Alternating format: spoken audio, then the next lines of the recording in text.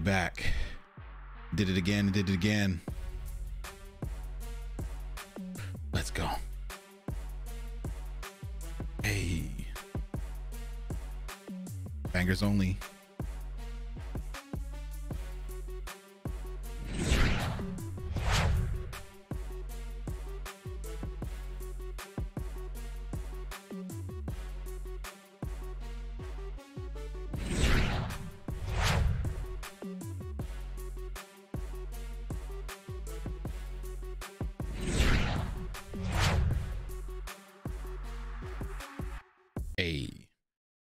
Morning, good afternoon, good evening, no matter where you're coming from. Hope you all are doing well. Welcome back, everybody. Welcome back.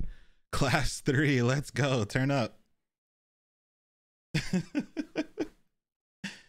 so today's today's the first day with the hair down, so we gotta, you know, make sure we're focused on it. Prime with the raid. Let's go.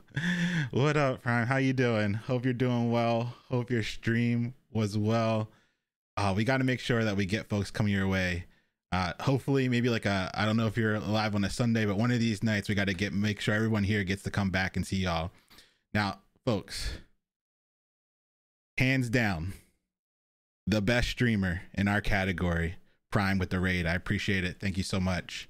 Uh, hands down, the best tech streamer, best coding streamer.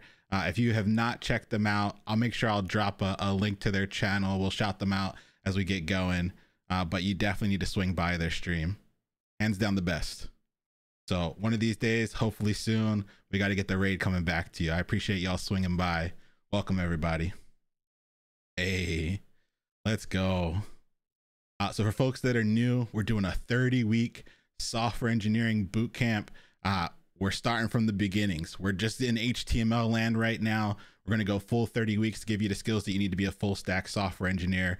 Uh, last cohort, we saw 75 folks get jobs. It's probably a little bit higher now. We had a few come in a couple days ago. So, yeah, welcome. Hey. Yeah, yeah. First day with the hair down. You know, you got to do it right. You got to make sure that it's just just just the focus, right? Just the focus. Alrighty, folks. Tonight we got uh, a really good class. Uh, we're probably gonna end a little early tonight. We're gonna get some lots of hands-on keyboard practice we tonight. Uh, we got some more HTML to get to. Uh, on class two, we didn't get to the end of everything we need to cover. So tonight we're getting our spaced repetition in. We're getting our review in. We're making sure that we feel comfortable with the topics that have been taught so far, and then we're pushing. I'll push a little bit further, right? We're going to push a little bit further, right? And then we're going to get down to actually typing some stuff tonight. We're going to be building three different websites, uh, some that we've already seen before. We're going to make sure we go over the BBC together. Uh, we're going to look at Khan Academy together, and we're going to look at TechCrunch together, and we're going to code it all out. So if you're here to get some practice in tonight, you're in the right spot. If you're here to just look at some beautiful hair, you're in the right spot. But uh, if you're down to learn, let's get into it we always like to start uh, with a little bit of questions. So, the question of the evening, the question of the evening is as such Would you rather like snap your fingers and they produce a new season of your favorite television show, or you snap your fingers and they produce a sequel to your favorite movie? So do show or movie in chat for me, please. Show or movie. Primeagen, thanks again for uh for the raid. I really appreciate it. Ooh, folks are going show.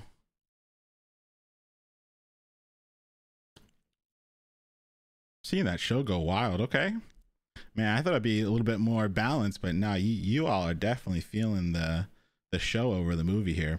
So I just watched over the weekend two seasons of Snowpiercer, two whole seasons. While y'all were doing your Shay Howe reading, I I just I tore through Snowpiercer. It was it was pretty it's pretty wild. Love the movie. Love the TV show. And so I, as soon as I was done the second season, I was like, come on, they got to give me a third. And so if I could have snapped my fingers in that moment, I would have picked another season of Snowpiercer. But third season comes out in a couple days, and then they've already planned a fourth season. I'm still gonna snap it. Give me a, give me a fifth season. All right, everybody. Always to start with questions. What questions you got for me tonight?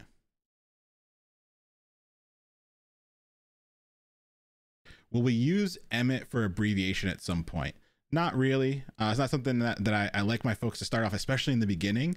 Uh, but like I said, once we get through the basics together, it's up to you. You can do whatever you want. I just like to show the basics first. I like to get folks comfortable using tools that they might not have access to during interviews. And then if you decide that there's something that's going to improve your workflow, by all means, go for it. what if we didn't get the homework done? I'll, I'll, talk about the homework in a little bit. We got a, we got a whole slide for it.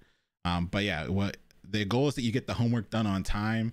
Uh, if you're shooting for Turing or hopper, you actually got to get stuff in on time. If you're in Hamilton, you can take your own pace. Uh, and life happens, right? Life happens. Uh, one of my dear friends and somebody I consider a mentor uh, always told me God, family, academics, right? So God, family, academics is something I live up to family's gonna come first, right? Your your your your your responsibilities have to come first. Learning will take a backseat to that, but you can always catch up. In fact, we have catch up crew, which we'll talk about in a few seconds. Roy said, "Why are you a floating head right now?" Because I wanted you to focus on the hair tonight. We're this is gonna be a, a little bit shorter of a class because we're just getting a lot of review in, and so if we're gonna get a little bit shorter of a class, a little bit more time to focus, uh, might as well focus on the hair. Get a few more questions in while folks get in here. Folks are always trying to run to their computer right as the, the, the stream is starting.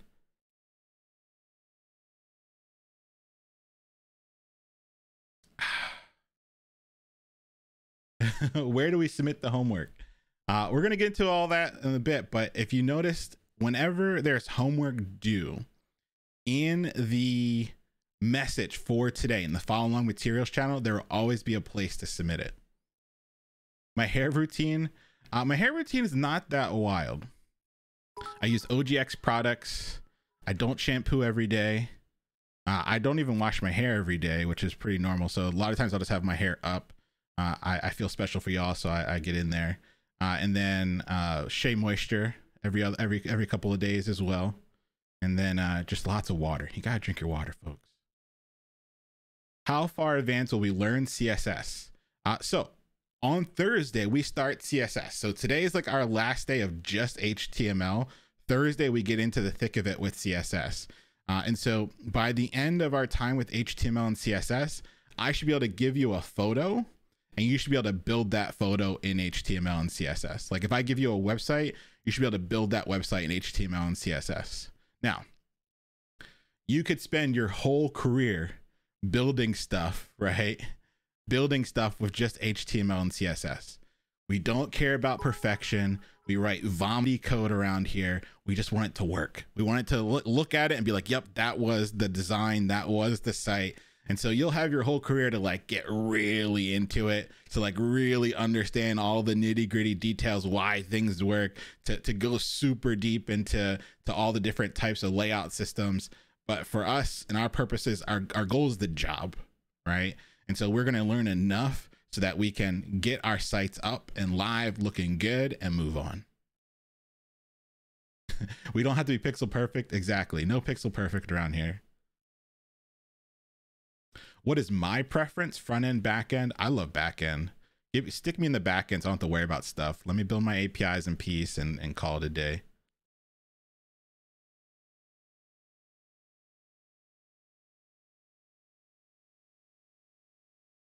Yeah, front end front end gives me too many nightmares.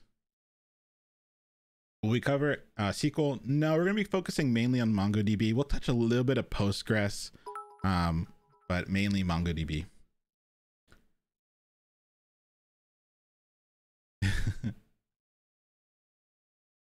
what kind of tea am I drink? It's always the same. It's always that that Tazo vanilla chai. I need to I need to get a tea sponsor. Is what we need.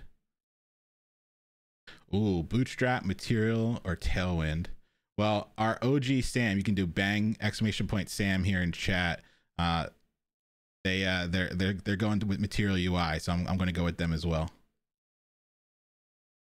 It's got a new gig.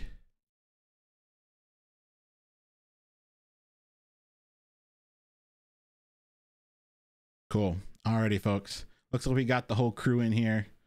I'm glad you stuck by.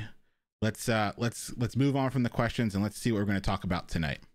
So, tonight we're getting our review in.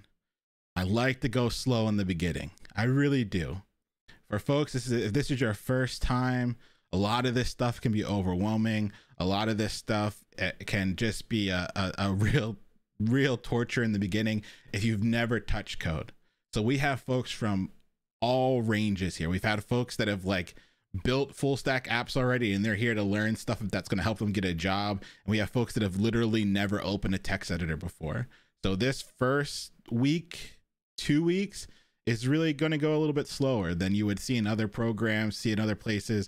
I really do want to get that review in. I really do want to make sure that folks kind of get a clue as to what's going on then we pick it up. We get a little bit faster, we get a little bit faster, we get a little bit faster, right? So if you're if you're brand new, this is gonna be great review for you today. If you already kind of know what you're doing with HTML and CSS, great.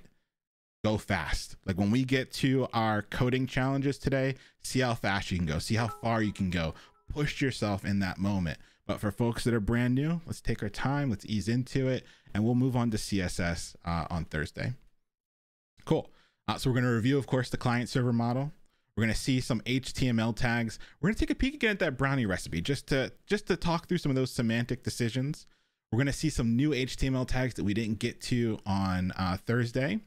We're going to talk about the second most important thing of the evening. First, is always, separation of concerns. But the second most important thing this evening will be progressive enhancement and talking through why that's an important concept and why, as newly knighted developers of the web, we need to incorporate that into our building of our front ends. We're going to build uh, the BBC together. So if you've been sweating that homework that's going to be due on Thursday, we're going to actually do some of it together. Not all of it, but some of it. We're going to do Khan Academy together, and we're going to look at another newspaper or news website called TechCrunch and build it. So there will be kind of like us walking through it together we're gonna we're gonna highlight circle stuff. We're going to not like highlight in terms of notes. We're gonna like circle different pieces of it. We're gonna talk through the design and then you're gonna get a few minutes to code it and then we're gonna go over it together and we're gonna do that at least three times today. So if you've kind of been sweating the writing the html boom we're gonna get into it three four times tonight. Any way to get rid of the ads while watching the vods well uh, our past two classes are up on YouTube, and I do not monetize my YouTube. Uh, so you can go on YouTube and watch the past two classes without any ads. Yeah, so that's why I that's why I keep the the YouTube not monetized, uh, so that you can just watch them ad free. Yeah. Yeah. Now,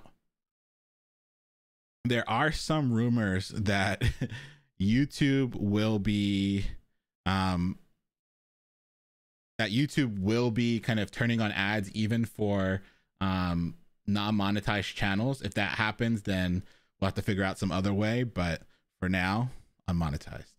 Bugaboo got two interviews back to back tomorrow. Let's go. Wish you luck. Hey, wish you all the luck in the world. Good luck. You don't need it. You got it. You're built for this. Alrighty. So that's what we're up to today. And uh, at the start, we got to talk about a few things. We got to talk about some Discord stuff. Uh, Discord has been popping off. We got 20,000 people in there now. Uh, so we're going to talk through some changes that we made, some more changes that are coming. And so that's where we're to spend a little bit of time in the beginning just to make sure everybody's on the same page in terms of how we're going to use Discord going forward to make sure folks get the help that they need uh, and to reduce the burden on some of our mods, right? Uh, so let's get into that and then we'll get into the actual code. All right. If you haven't checked in yet, uh, please go ahead and check in. You can always do exclamation point check in. Uh, remember, the link to check in is always in the follow along materials channel and it's always in the go live uh, message, right? So uh, you, you don't have to, to, to wait until you get here to check in. You can always just go ahead and look at those two messages and, and grab the link. Cool. You might have to scroll over chat and slow it as Nightbot posts it if you need the link. Uh, as always, please go ahead and give it a, a, like and a retweet. That's your attendance. If you're shooting for Turing or hopper, attendance is mandatory. Uh, if you're in Hamilton and just want to support the stream, go ahead and do the like and the retweeting. Uh, if you're following on YouTube, go ahead and give us a like, a thumbs up. Go ahead and click the notification bell, right? That helps a lot in the folks finding a free software engineering bootcamp instead of paying lots of money to go to one. Cool.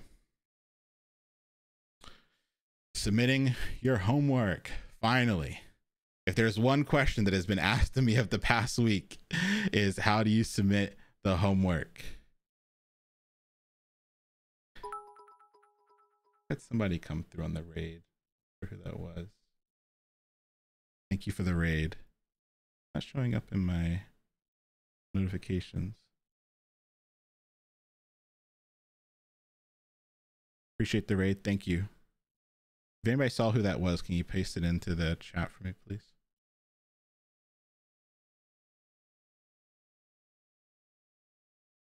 Here. Cool. Alrighty. Cool. So here's how you submit the homework. Stark for Machines A. Thank you so much for the for the host. I appreciate it. Alrighty. Here is how you submit the homework. For homework that was due today, you had to watch two Ali Abdaal videos, which are amazing videos, and then you had to go through the Coursera Learning How to Learn. What I want is for you to submit that completion of Coursera, right? So on Coursera, you will have like a section that shows you all the stuff that you completed. I want you to take a screenshot of that. You're going to have to figure out how to do a screenshot on your operating system. Uh, each operating system is slightly different how you do a screenshot, right? But you're going to do a screenshot of that page where you've completed everything, right? And so you're going to do that screenshot where you've completed everything and you're going to upload that screenshot to that Google form in the link right there on the slides. Or if you looked in the follow along materials channel, I give you the link there as well. Now, the wonderful thing about Coursera is it covers so many topics that we don't have a chance to cover in class. That was a four week course that I asked you to get done in one week. There's no way we could spend all that time live going through everything. And what you'll notice is that a lot of the things were covered in that Coursera course that are going to help you day to day learning how to code, but they also supplement the things that we do cover in class, right? This idea of chunking is so important when you tie that in with your uh, spaced repetition and your active recall. They're like things that if you did not go through that course, you are at a severe disadvantage going forward. So please, if you haven't, you must get through that course. You must finish it. Don't do the rest of this program without having gone through that course. You will be at a severe disadvantage for everything that we cover going forward. Cool. Now, uh, take your screenshot proving that you completed everything, uh, upload it to some sort of image sharing. I gave you image BB, and then uh, go ahead and submit it in that Google form. Okay. If you're trying to keep up with Turing and Hopper, guess what? Homework's due when it's due. You got to get it in. Okay.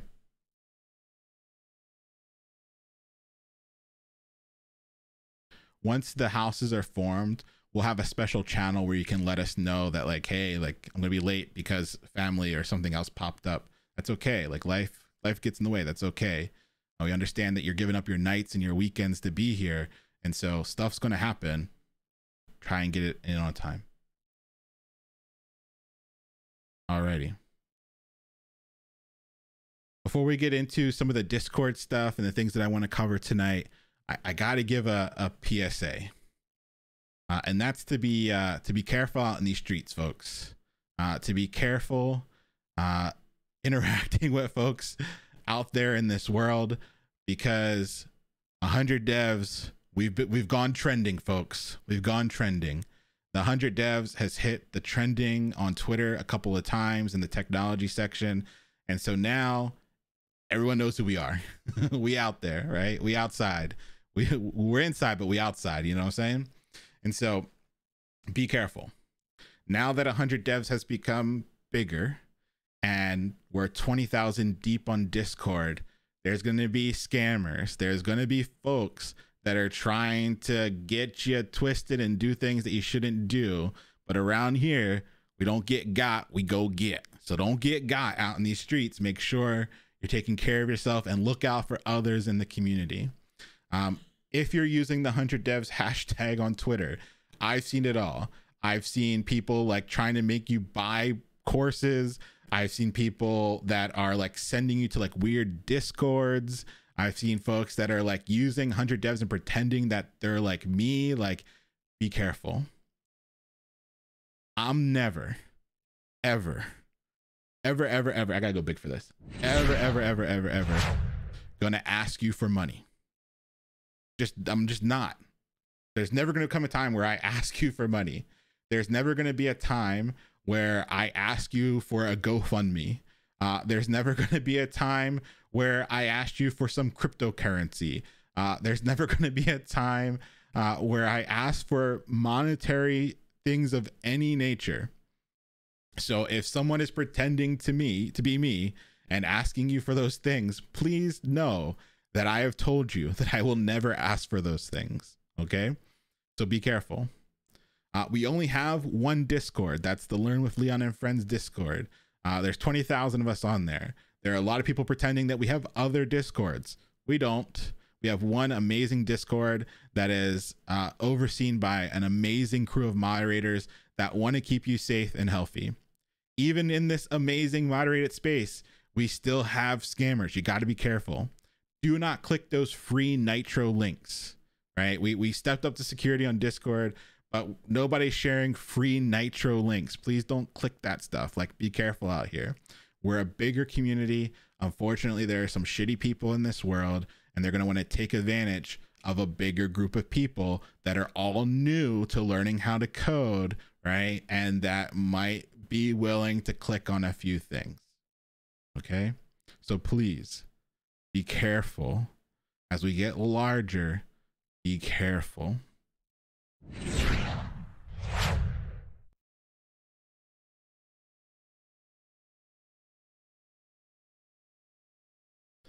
I feel like a boomer. What's Nitro?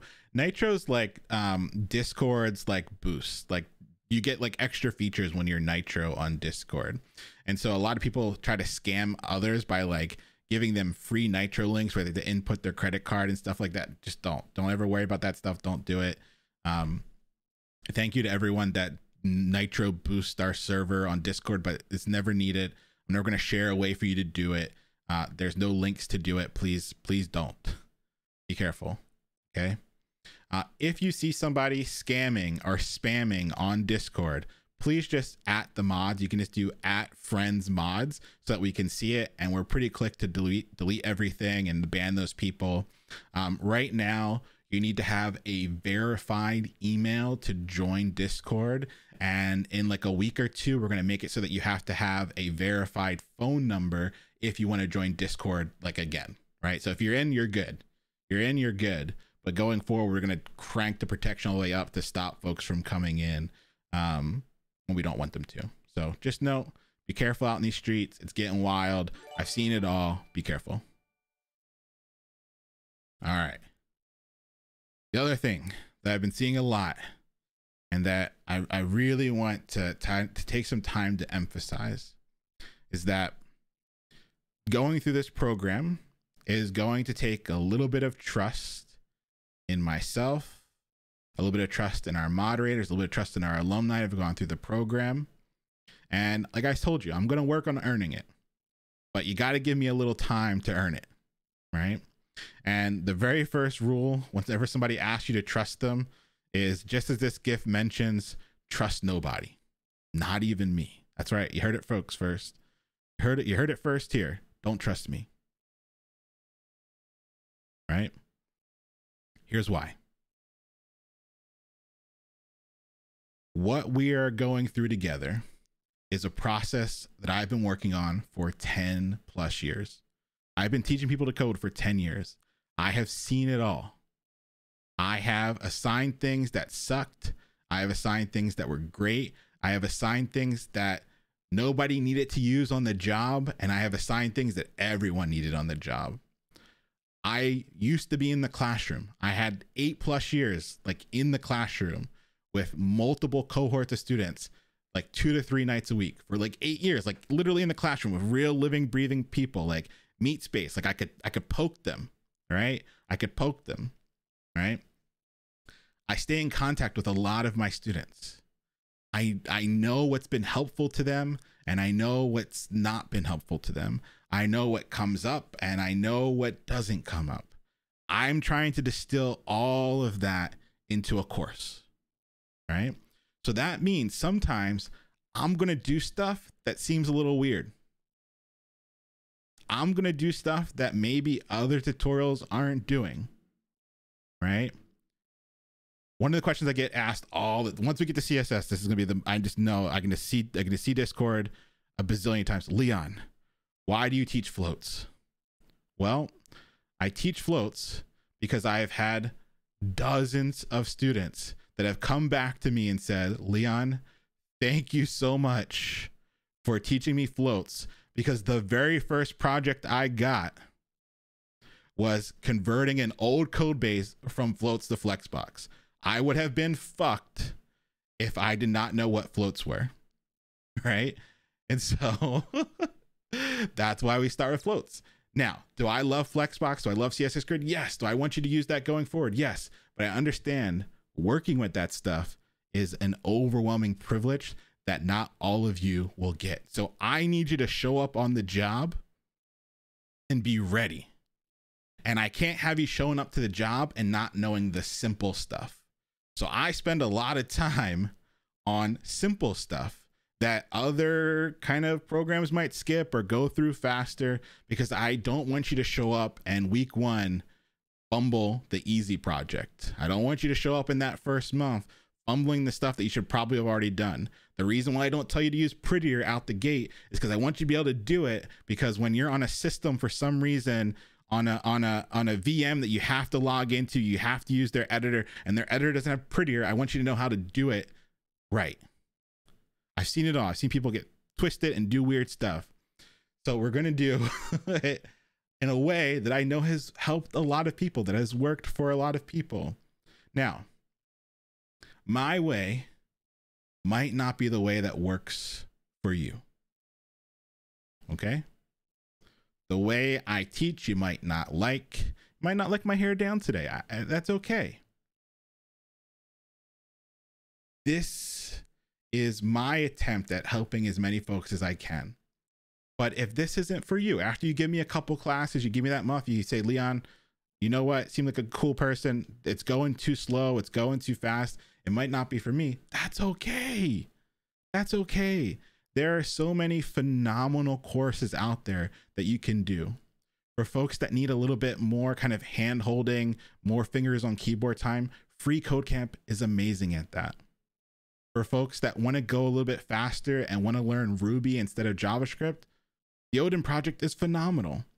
For folks that have already coded before, right, and want to know the modern, modern stack, Full Stack Open is incredible. I tell all of my alumni to go do Full Stack Open because it's just it's just that good. So there are some phenomenal resources out there, right? That are not this. So when you come here, you're you're buying into, right? You're buying into the path that I've seen work for a lot of folks, and we're gonna do things a little bit differently. And so I'm gonna ask you to to trust me a little bit. I'm gonna work on earning that trust. Hopefully, you see me popping off in Discord, answering all those questions, putting in hours every day to help y'all, right? But you don't have to take my word for it. You don't have to trust me, right? And I don't want you to, because there are lots of folks out there that are scamming, that are scheming. So go into it with a skeptical heart, right? Go into it with a skeptical eye. Don't trust me. Let me earn it, right? Let me earn it, right? Let me earn it, right? Go check the celebrations channel. Let me bring alumni to talk to you. Let me show you the way, right? But you don't have like you don't have to do this. Like there are so many other phenomenal programs that might be more your speed. And I don't want you to feel upset. I don't want you to feel guilt. I don't want you to feel like you're doing something wrong by choosing one of those other programs because they are good and you might get something out of it that you might not have gotten here. But what I'm going to do is try and put together material and a process and a way of doing things that I've seen be successful in my 10 years in the classroom. And if you think that has value, then stick around. Let me earn a little bit of that trust. But if I can tell you anything, don't give people that trust implicitly. Just because we look good, we got good hair, we, we, we talk a big game, check the receipts. Check the receipts. Okay. And I say this as a as a way of telling you to be careful out in these streets. Right? To be careful out in these streets. There everybody at every turn wants that dollar, right? They want you to, to to do things that you probably shouldn't be doing that you don't have to do. So make people earn that trust a little bit and then see if it's for you. No harm, no foul if it's not for you. But I think we're building a phenomenal community that wants you to be successful. I think we're building a phenomenal program that's going to give you what you need to get a job in tech. And it's not just code, it's everything else. Okay. Now, one last thing about this is that this ain't my job. This ain't my moderator's job. This ain't our alumni's job. We do this because we want to help others, right? If it's not fun, we're not going to do it, right? So don't be mean to the mods. Don't be mean to me. Like we're just gonna ban you, right? Like, and we're not gonna lose any sleep over this. We don't. We don't. We don't got numbers to keep. We don't. We don't have some boss that we have to make happy. We're doing this because we want folks to be successful in a career in software engineering. Um, but we could we could go do other stuff with our hours, right? So shout out to the mods, right? Please be helpful. Please listen to them. Please take their guidance because they don't have to be here.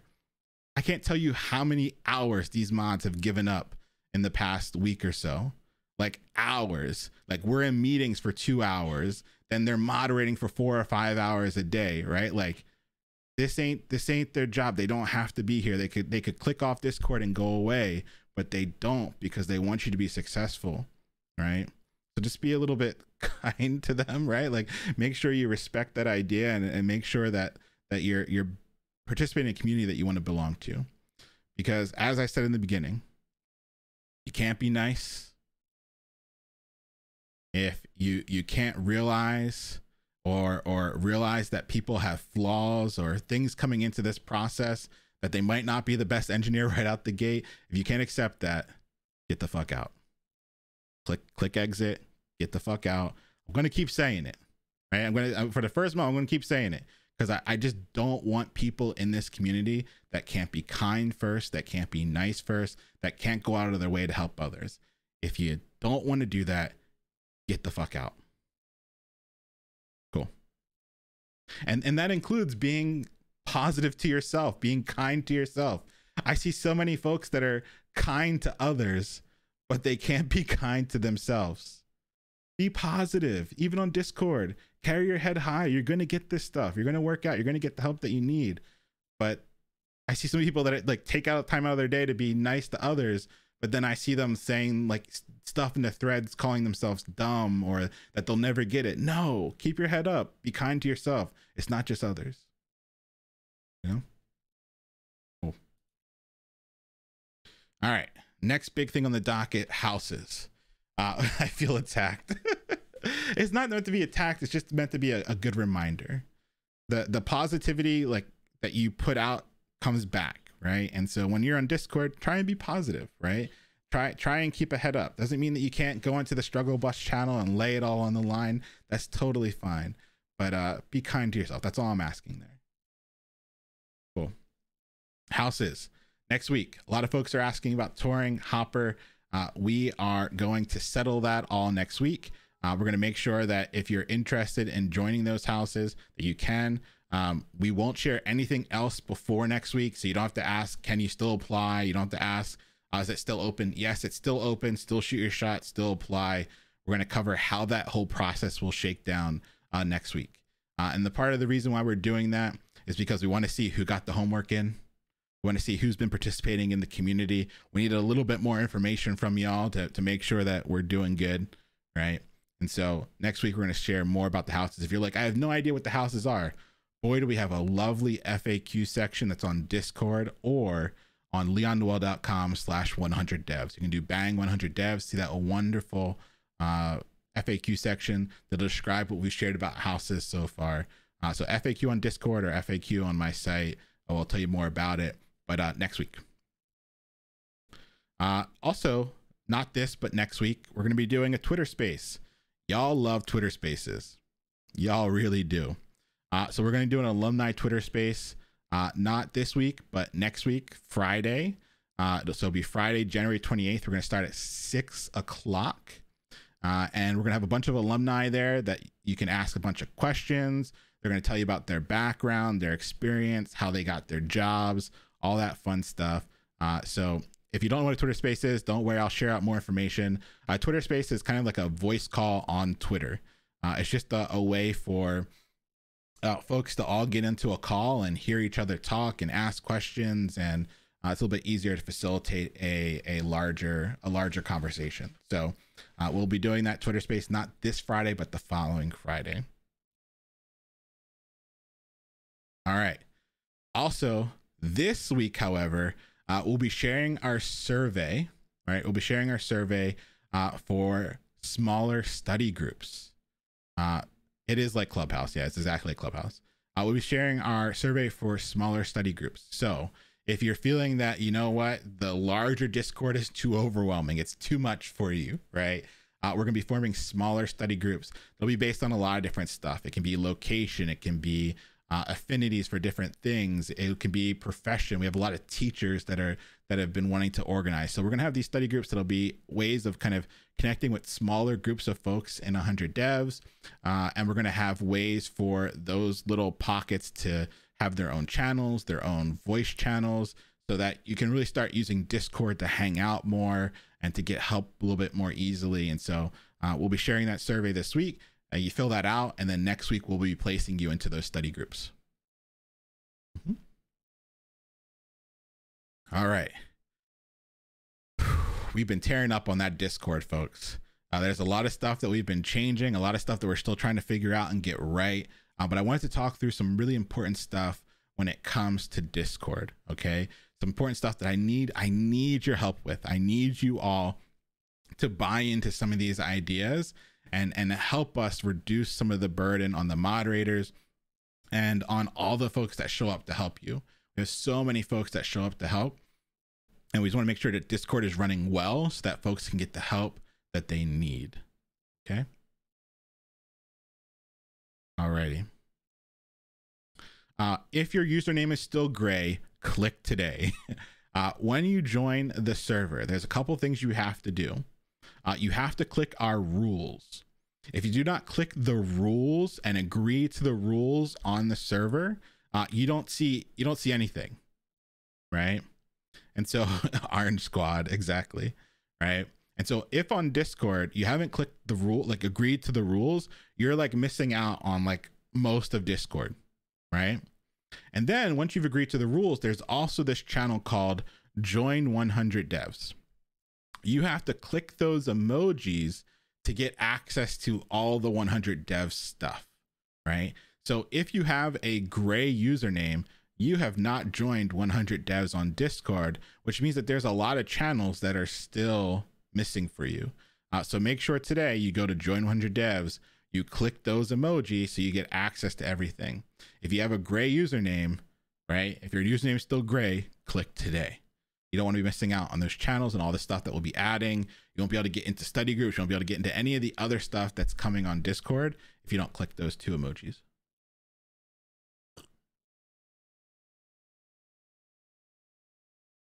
Rebel, thank you for the posture check. Doing good. All right.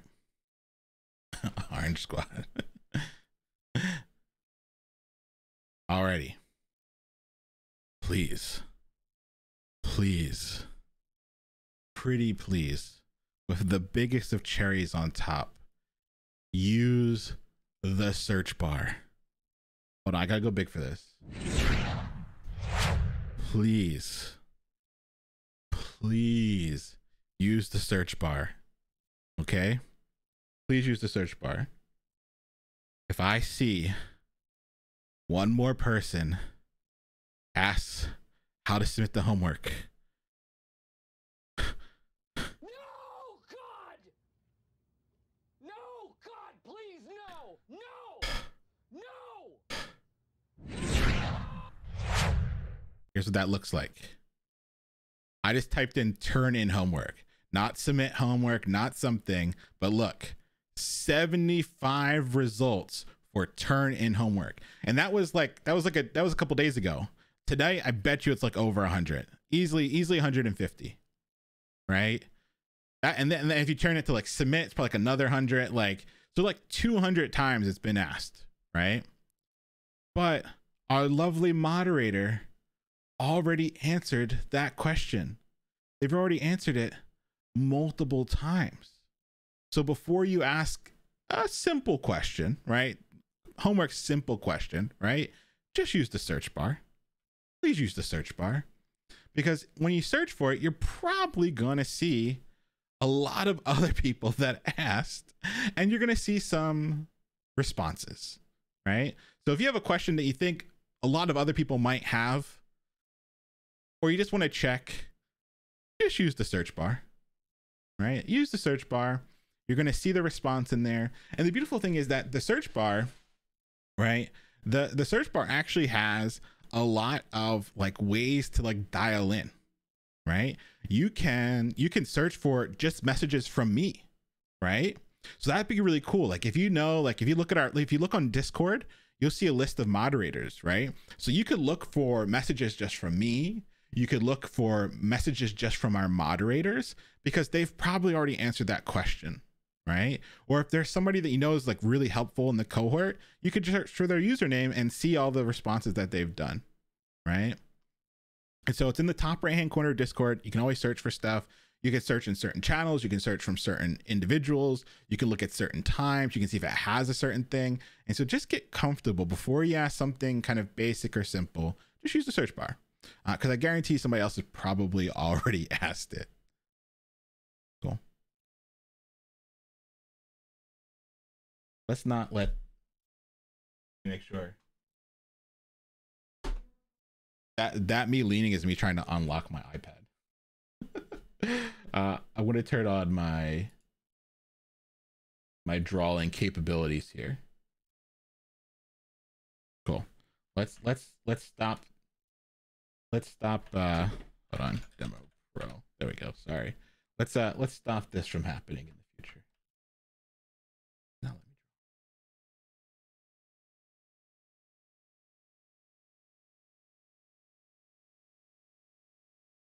I don't know.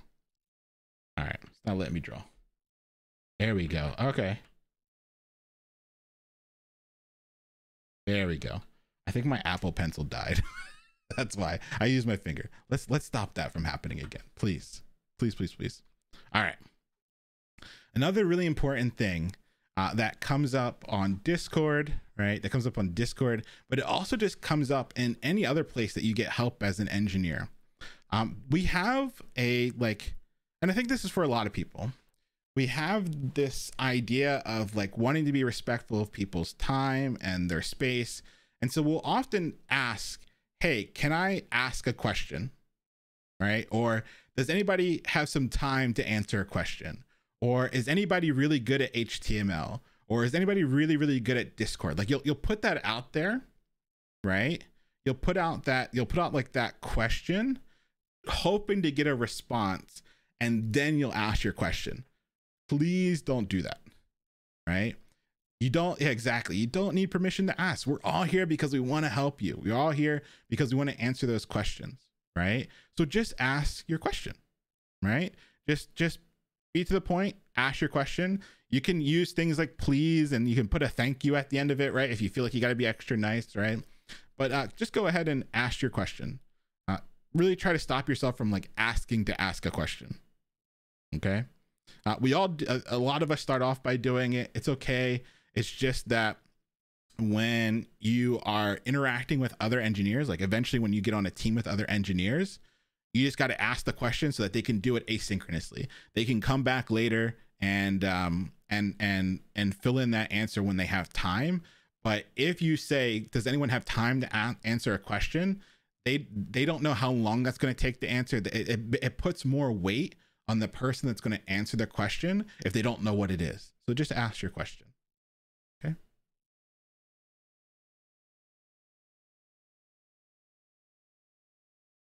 Um, before you type in a Discord channel, please read the channel heading. Right? Each channel has like a heading that describes like what you can do inside of that channel. Okay? And so please make sure you you give those a read before you actually start typing in it because some things are allowed in some channels and some aren't allowed in others. Okay? So make sure you just read that channel heading. Um, and I, something weird happened last class. And I know I'm opening I'm opening myself up to the slaughter here a little bit, but I think it's worthwhile to bring it up again. Last class I said, "Please don't ask questions in the Ask Leon channel uh, that other folks could answer." And then like a hundred of you all just asked the question. And so I think that there's a little bit of maybe me not being clear enough or, or, or, or it's not coming through a little bit. That's okay. But please don't use the Ask Leon channel for something that somebody else could answer. We have a lovely new channel called New Need Help. So if you're new and you need help, we have people that are paying attention to that channel that want to help folks that are new. Okay. Then, if you need homework help, we have a channel called Homework Help, right? So you could go there, right? things that moderators or other folks can answer, they don't go and ask Leon. Uh, I like to keep Ask Leon clean because it's really important that when folks have something that they really need help with, I can get to them. Like things that can go in the Ask Leon channel are Leon, I have an interview coming up and I need you to be a reference. Or Leon, I just got an offer, I need help negotiating, right? If you're filling that with stuff that are just like basic, like, how the course works, when to submit homework, that means it's really hard for me to see the folks that really do need my help, like when they need it. Okay. And so please keep Ask Leon clear. Use every other channel before Ask Leon. Cool. Robo, thank you for the gifted sub.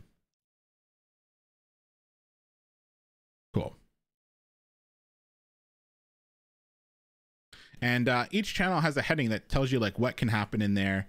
Uh, and we're gonna be pretty serious now. Like the first week, we kind of gave it to you.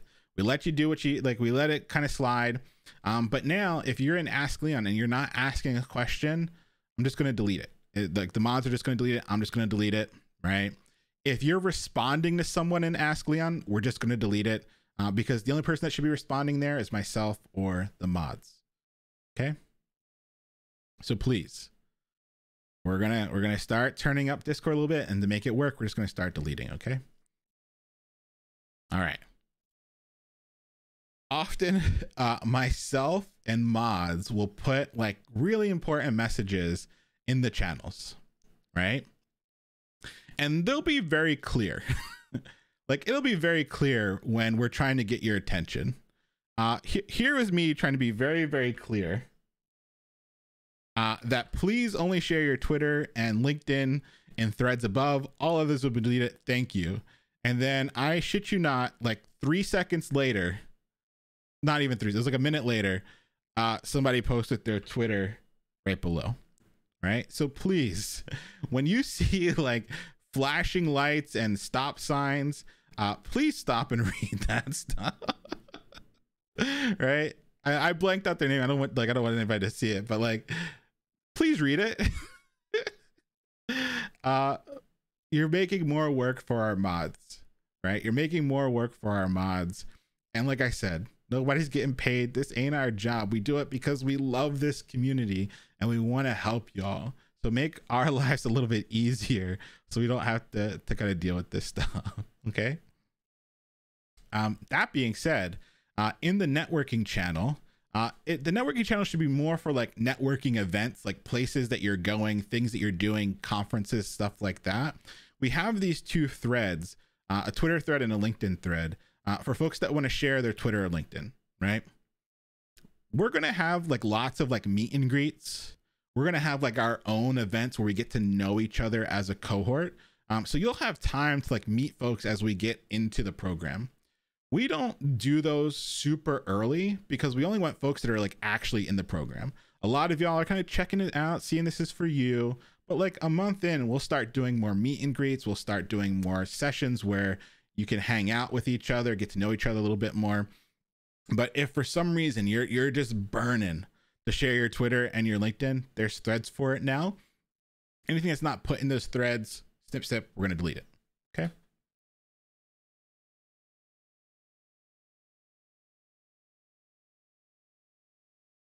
Alrighty. Got a few more and then we'll take our break. uh, we we tested something starting yesterday. In the homework help channel, we have uh, a new bot that makes everything a thread. Okay. So any question that you ask is now a thread, right? So um, you can see here in the example, hey everyone, for the BBC HTML, do we need to build the HTML for the navigation bar too? Great question. Discord is way too hard to like read all the replies and everything, especially when there's a lot of um, a lot of responses. So now your question will automatically be turned into a thread. And if you want to answer that person's question, right? If you want to answer that person's question, you have to go into the thread to respond to them. If you click reply like normal, we're going to delete it. Let me say it again. If you just click reply, uh, we're going to delete that reply. You have to go into the thread to respond to that person directly. And so before you even ask a question, use the search bar. See if somebody else has already asked that question. And then if not, just go ahead and type out your question and it will automatically be turned into a thread. You don't have to worry about threads or anything.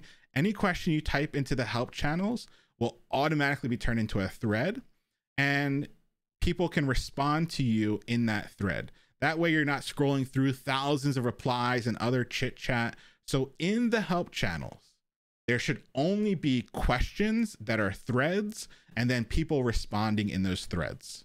Okay. If you type anything else into the help channel, it's going to get turned into a thread and it's going to be weird. If you're like, if you're like, huzzah, I figured out the, the BBC homework, right?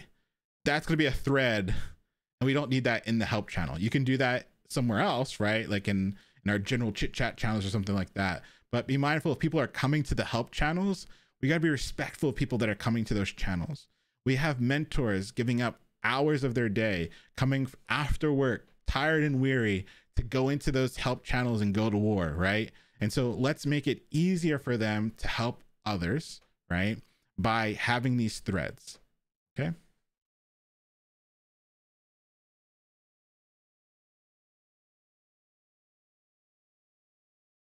already. So we got threads, and uh, you have the power to help. Uh, now that we have these threads, jump on in there, right? You all will know something that somebody else does not at different stages of this process. Okay. I don't care if you think you're a super new beginner, that's okay. You're going to pick something up that might be able to help somebody else. So jump into their thread and, and, and help them out a little bit, right? Uh, if you know if you know how to solve something that they ask, go ahead and, and help them out, right? Because I guarantee you, at some point, you're going to know something that somebody else does not, and then a few weeks later, they're going to know something that that you don't know, and they're going to jump in the thread to help you, right? So don't don't forget that you got power. If you if you made it through some of the Shay Howe, you know more than folks that haven't made it through the Shay Howe. Also, shout out to Shay Howe. Uh, they just sent me a DM on Twitter. They want to come and, and hang out with us. So uh, we're gonna have maybe either a Twitter space or we might bring them up on stream uh, to to talk through some of the some of the decisions that they put into their um into their course or their their kind of the thing that we've been working through. Yeah, it's pretty cool. All right, so you got the power. Jump into those threads, help each other out. During this course, any assignment I give you, I'm going to eventually give you the solution. Okay. Any assignment that I give you, there will eventually be a solution. Most of the time, like 80% of the time, we're going to do it together live. Right? Like you're gonna get assigned something, and then like the week later, we're probably gonna go over it together. Okay. If for some reason we don't go over it together, you're just going to get a file that is the solution file, right? But like 80, 90% of the time, we're probably going to go over it together. So you don't actually need like a full code review. It's something that a lot of people ask for on Discord that you that you don't really need. Somebody will say like, "Can somebody check this BBC for me?" You don't have to do that. We're, we're gonna have the solution. You're gonna you're gonna be able to compare it, right? You're gonna be able to put in that cognitive effort to like look at yours, look at mine, and go, hmm, where do I agree with Leon and where do I not? Right? I don't think he made the most semantic choice here, or I think I think in terms of accessibility, he might have done things a little bit differently, right? And so you will always have the ability to like compare your answers to mine. Now, please don't ask for full code review, right? That's just too much time for someone when you're going to get right when you're going to get the full solution down the line. Okay. If you have specific questions, that's totally fair game. If you're stuck on something, if there's something that you think doesn't make sense, right? Like you're, if you're really confused about something in your code, that's a really worthwhile question. But just saying, look at all this, that's a pretty lazy question, right? That puts too much on the person that wants to help you, right? That puts too much on the person that wants to help you to have to figure out everything for you. we want Barb. All right. The idea here is make sure that you're being respectful of the other person's time is going to help you. Don't don't ask for a full code review. If you got if you have a specific question, right? If you have a specific thing that you that you get stuck on, ask that. People will help. Cool. Uh we'll be taking our top of the hour break soon. Got a few more here.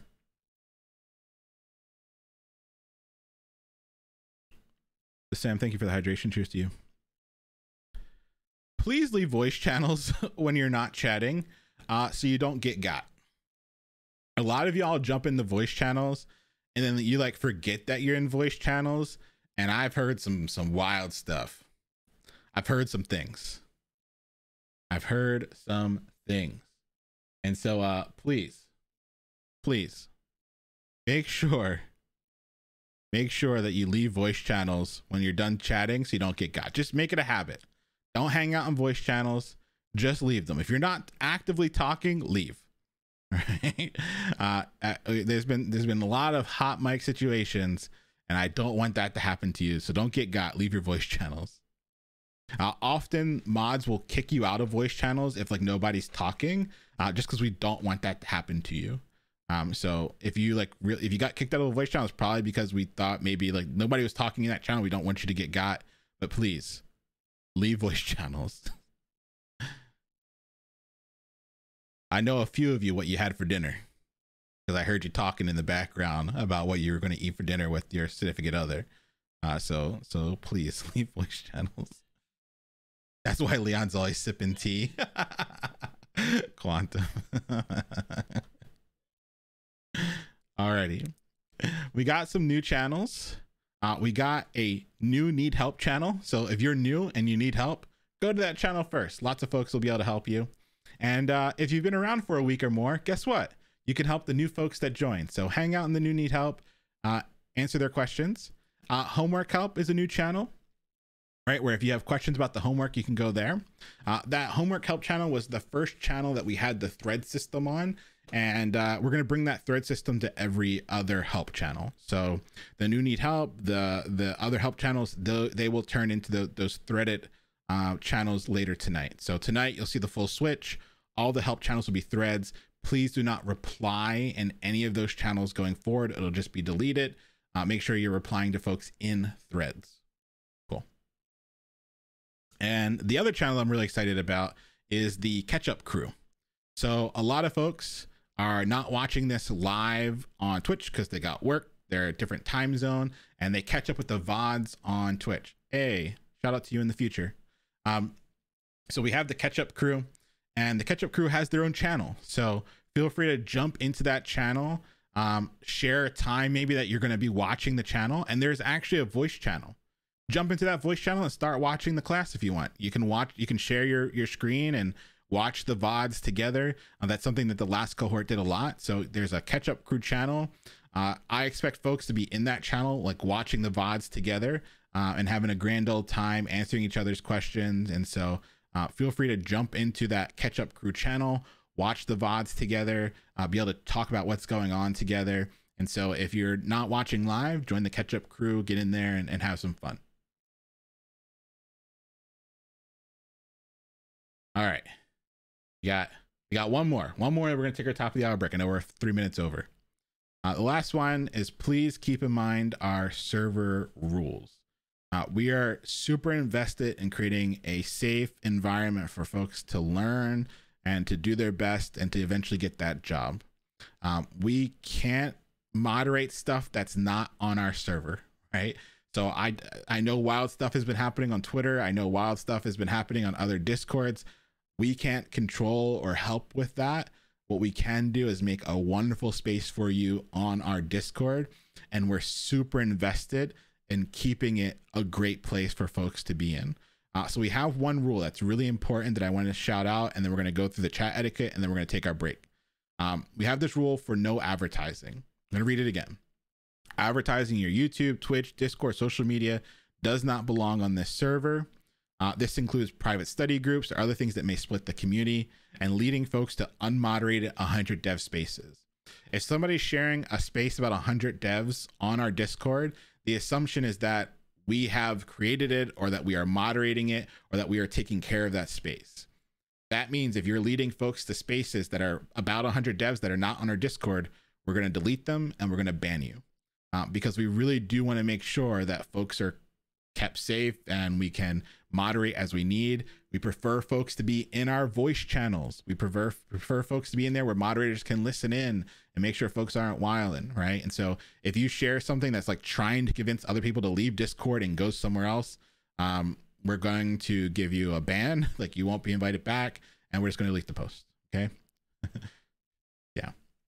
Uh, and that's just because we care deeply about making sure that we have a space that works for everyone, right? Now, uh, the last thing I, I, read out loud, I think on class one, I'm going to read it out loud again. Uh, and it's, it's something that comes from a dear, dear friend and my executive director at Resilient Coders. They put this out there, something that we read to every cohort at RC. And I want to make sure I'm reading it out to you. Um, the no advertising rule, right? There are some, there are two exceptions to that rule. We have a self promo channel in that self promo channel, you want to share your YouTube, your Twitch, your Discord, go ahead. Oh, sorry, you're sorry, not your Discord, your YouTube, your Twitch, your Twitter, go ahead, right? Um, don't share other communities, don't share other like things that you might try and brand as 100 devs, they'll be deleted. But if you want to share like a video you've been working on, or if you're you're going to go stream, go ahead, put it in the um in the self promo channel. Lots of really cool people doing lots of cool stuff. Uh, we do have a stream team uh, that if you start streaming and you feel like you want to stream some 100 devs content or learning to code content, you can join our stream team. We'll share more information about that. Uh, you'll see some of our stream team going live soon. Uh, the other exception to this rule is the threads that we created. We have a Twitter thread and a LinkedIn thread in the networking section. Go wild in there. But any other place, don't advertise. Cool. Two things, and then we're going to take our break. Like I said, comes from my dear, dear executive director, Dell. Uh, be kind to one another. Be the type of person who stays positive, gives people the benefit of the doubt. See the best in people. Embrace diversity of backgrounds and perspective of those things we can choose and those that we can't. Accept your own failures and those of your peers as an important part of the process. We're all here to write some vomity, chunky, chunky code. We're all here to get things wrong, to break, to fail, to learn, to grow, to become a great software engineer right? And so that's all part of that process. And before you share anything on Discord, please, please ask yourself this one question. It's the only thing I care about. If you're on Discord and it's the only thing you think about, this is what I want you to think about. Please ask yourself, is this the most supportive message I can send in this moment? If not, please choose a new message. If it's not the kindest, most supportive thing you can send in that moment, don't send it. I can't tell you how many times I type out messages and have to delete them. I do it all the time. In the in, in the in the the Ask Leon channel, I I, I typically give short responses um, because it's just a lot of them. But a lot of times you all ask some wild questions that are out of left field, and I and I want to type something.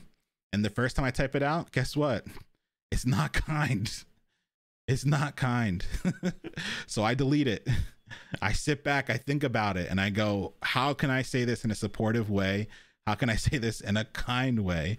And then I rewrite it. And sometimes I gotta rewrite it three or four times. But that's what you're committing to if you want to be part of this community, right? We're not all perfect. We get it wrong, right? That's okay. But ask yourself, is that the most kind, most supportive thing you can send? And if that's too much for you, you're like, Leon, I don't want to do that, right? If I don't want to do that, I don't want that, that. That's not for me that's fine. Leave. Go away. Don't join our Discord. Don't come to class. Go bye. We don't need it. Trying to build a supportive, inclusive, wonderful community to belong to. If you can't be kind, get the fuck out. All right, folks. With that being said, let's take our well deserved break. I know that this first hour was not anything coding, but I think this is stuff that's really important for our community to survive and thrive and do really well. Uh, so if you're new around here, we take a break at the top of every hour for five minutes. Please, if you're able, get up, move around, stretch, go grab some water, kiss some babies, look out the window, focus your eyes on something that that's not that's not here, right? Hey, welcome back.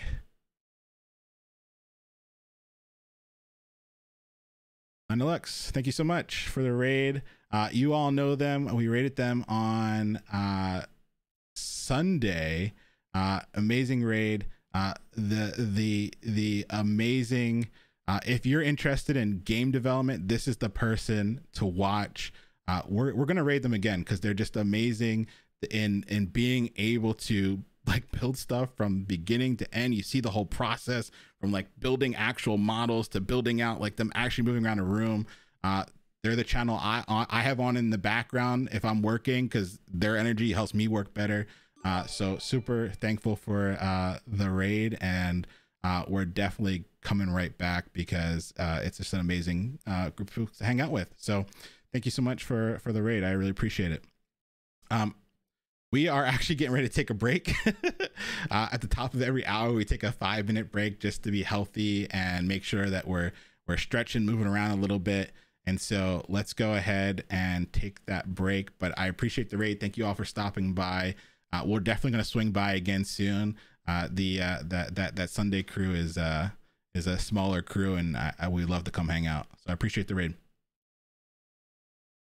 All right, folks, go ahead and take our break, and let's see if we can do a shout out for them. I'll put it in the channel. Or if Maj, if you could throw it in there. Ah, there we go. Awesome.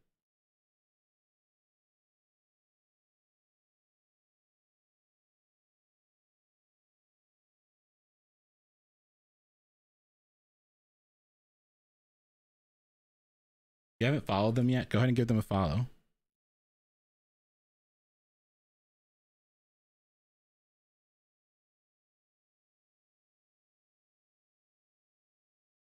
There we go. All right, going to go ahead and go ahead and start our timer here together.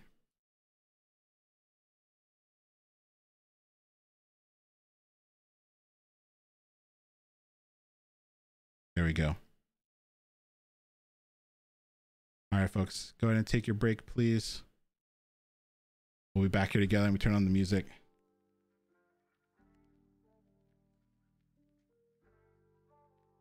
Thank you for the raid again.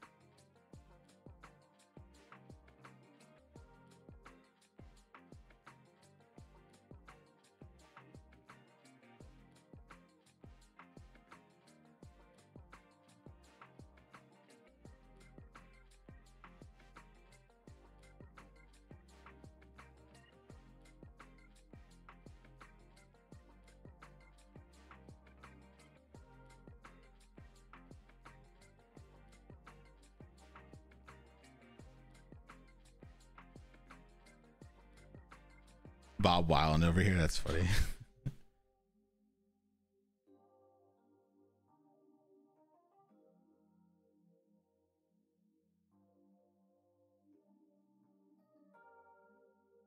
So I put their um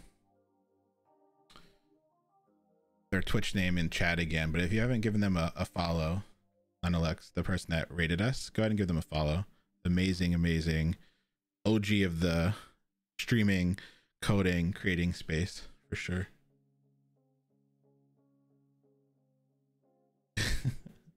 Byron, I appreciate that. highest quality floating head I've ever seen. I appreciate it. Thank you. I just I have a I have a a gnome shirt that I wear, like the Linux.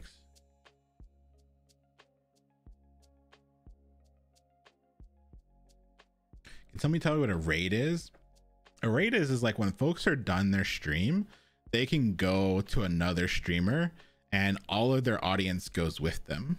Right? Like all the people that are in that channel go with them. And so at the end of each stream, uh, we rate someone. And so on Sunday, we rated Lena Lux, and they're an amazing streamer. Uh, they build video games from like like soup the nuts, like the whole thing. Um, and so they rated us a few minutes ago. And the cool thing about their channel is that they are literally like live every day. so if you like them, you can just like chill there all the time. I love it because I, I like seeing like all the process of how like, they create like that whole world that they're building. But um, it's just a chill stream to have on the background too. So I like to have that in the background when I'm working a lot.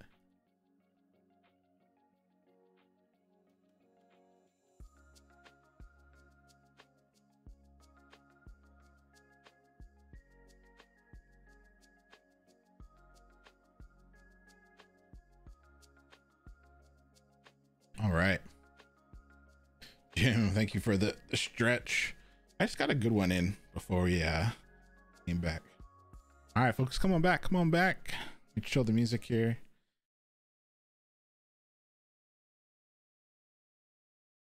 This course is also introducing the whole world of streaming. Yeah, it's pretty cool. There's so many different people that are in this space that do really cool stuff. Like we had two amazing raids tonight.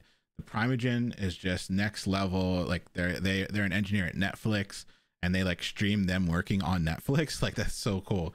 Uh, and then uh, NLX is the like just building video games from from nothing into something that you can like actually play and see them working around. Like it's wild. So I really I really love being able to like see people's process and how they do stuff. And so yeah.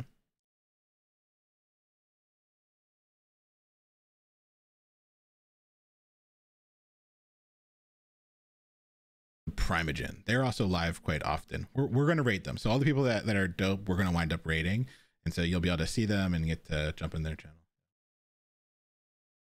Oh yeah, I appreciate that. Thank you, Alex. Appreciate that.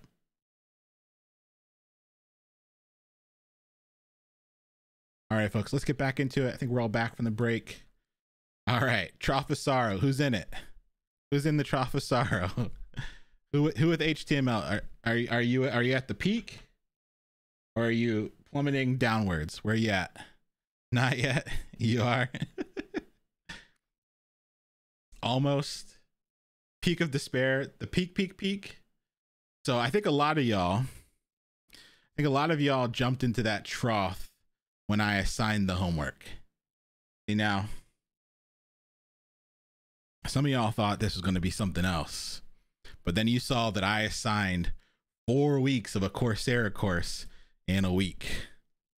And you went, I don't know about this. I don't know about this. That that they say four weeks. Leon's asked me to do it in one. And then you're like, all right, no worries. I got it. I got this. You know what? I'm just gonna do it. Just do it. Gonna do it. Just do it. Gonna do it. And you're with me you saw it you're like you know what? i can do it. I believe in i believe in this. I can do it. I want this for myself. I'm just to do it. And then I, and then i hit you with the Shay Howe and uh i felt bad for the first person that asked but that first person asked leon just just the first section right? Just the first section right? I was like nah nah dog. Nope. I need all 12 and I need all 12 in a week. And as soon as I said I needed 12 in one week, all, all I all I could see the bells are turning. And uh, as soon as I said 12 in one week, Run. they, they took off. They're like, "Not for me, dog. Not not this ain't this this is this is not what I signed up for. Uh-uh. I don't know if I can do that." So I think a lot of y'all, you made it to the tip, and now you're crashing into the Trough of Sorrow. I think you're still like on the really fun part of it though. I think like your hands are still in the air. You're still being Beyonce. You're like you're you're you're like riding down. You haven't hit the bottom yet. Trust me. If you haven't had like that existential like dread, like not knowing like what's upside down, what's upside right side up, like if you haven't hit that point yet, you're still like in the fun part. You're still in the wee part. Like you're still like, woo, I'm Beyonce. Like I'm like I'm I'm flying down the hill, right? I feel really bad for people that just join live and have no idea what our reference is. I'm just talking about like Domino's nuns and being Beyonce, and they're just like, "What are you talking about?" Um, so you're probably not there yet, um, but you're gonna get there. At some point in time, I'm going to assign something that's gonna be a lot, and you're just gonna you're gonna hit the bottom, and you'll know when you're there. You'll know when you've hit the bottom, and you're officially in the trough of sorrow. There, there's like a very sharp like there's a moment where you wake up and just go fuck right? I got 29 more weeks to go. Uh, so if you're not there yet enjoy it. Enjoy the ride down. Enjoy being beyonce. And um, we'll all get there soon. But one thing i'll say about the homework is that homework is just the first pass. When you're going through the homework i want you to give it the old hold on my chair's in a weird spot. I want you to give it the old 100 devs try, right? Like when I give you homework, give it the old 100 devs try. But know that it's just the first pass. Okay? All the important bits, all the stuff that really matters, we're going to cover together. Right? So if if you're like Leon, it's too much. I just don't get it. Don't worry all the really important bits and bobs we're going to go over together, right? So you have this homework. This homework is really broad in scope. It's going to give you so many little things that are interesting and things that you should learn about, but it's the first pass. All the core, really important stuff we're going to recover in class. So when I give you reading, I expect that to be your first time going through that type of material, but I need it to be not I need I need class not to be the first time you've heard about CSS. I need class to not be the first time that you've heard about the box model. I need class to not be the first time you've heard about floats or flexbox, right? Because if it's the first time, your brain just won't be able to make the connections in class, right? So I give you this homework as a means of a first pass. You're going to give it the good old 100 devs try. You're going to try and do your active recall, your space repetition. But if there's something that fundamentally does not make sense to you, that's okay. We're probably going to cover it in class. So on Thursday, you have the Shay Howe do but that's just when we start css literally the the the beginning of css is the day this really hard material is due.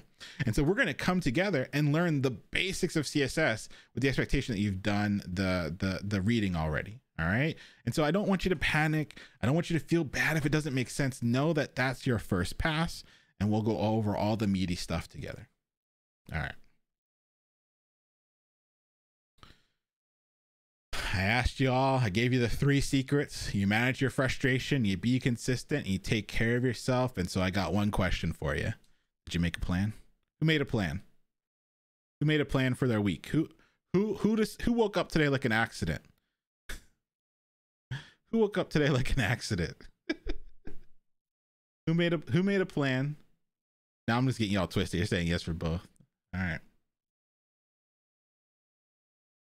If you haven't made a plan for your day, for your weeks, for your month, you must. Being consistent takes some planning. Don't wake up like an accident. Have a plan, right? Know what you're getting yourself into, right? So if you haven't made a plan for your week, if you haven't had that conversation with the other folks in your life, figure that out, right? You got to let folks around you know, hey, Tuesday, Thursdays, I'm in class. Sundays, I'm at office hours. Friday, I might be doing a, a Twitter space with the alumni, right? Like, you, you got to let folks know that you need that time. Okay. I made a plan A. There you go. All right. Active recall. Remember, you can do a quarter of the work, all right But get better results. Indifferent said Leon's calendar is the most scheduled and wild thing I've ever seen. Yeah, I can't show you all my calendar because I have a lot of like meetings with people on there that I can't like put on on stream. Um, but I promise you, it's glorious. As we get later on, I do one on ones with a lot of folks, and so if you're in a one on one with me, I'll show you. all right, you can do a quarter of the work, but get better results just by recalling the things that you learn. Don't take notes, take questions, right? Take questions, right?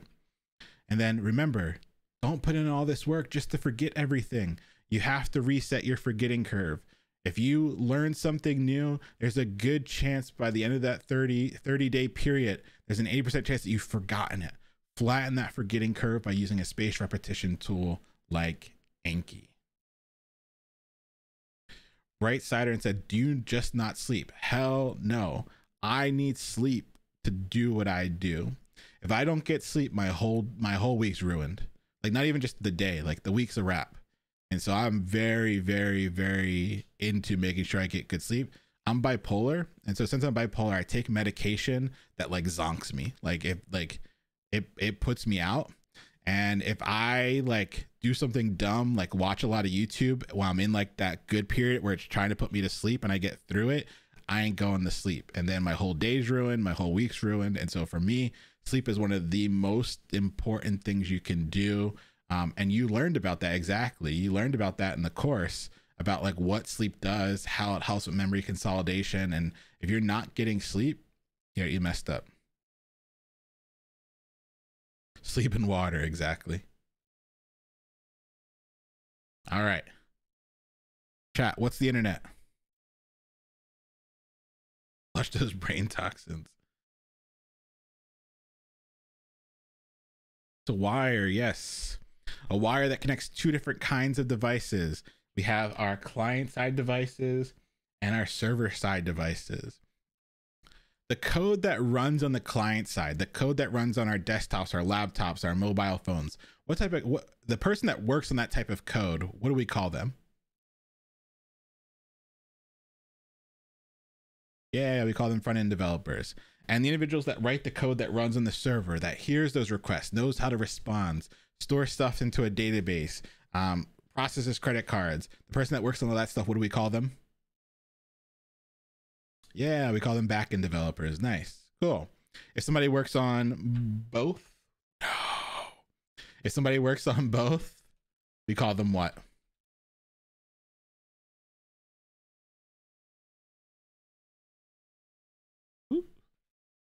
There we go. If somebody works on both, we call them full stack. Exactly.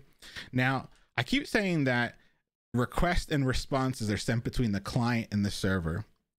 What enables those requests to go back from back and forth between the client and server? Like what what's enabling this to happen? What technology? Hmm. Cool. So people people got it. Okay. Yeah, it's sitting on top of the hypertext transfer protocol. It's this way of sending those requests and getting those responses, sending information back and forth across this internet. Nice. Well done. All right.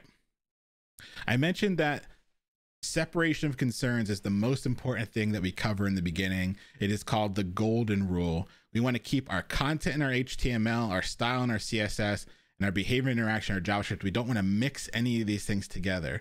Why is this so important? Why do we keep separation of concerns? Uh, especially as we get into on Thursday CSS. Why do we keep everything separate? Yeah, organization. Nice. Organization, right? Organization for ourselves and organizations for the developers that we work with, right? If we join another team and somebody wants to make something yellow, where do we send them? They want to make something yellow, where do we send them?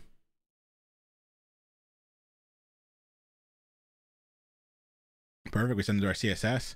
If we if we want them to make something when they click on it wiggle, where do we send them? JS, nice. And if we want to uh, have them enter in like a, a, a new headline for a newspaper article, where do we send them? HTML. Nice. All right, we're good. We're good. Let's keep pushing. All right, we talked about HTML as the first language that we are learning, right? We said it's a markup language. And like all languages, it has spelling and grammar rules.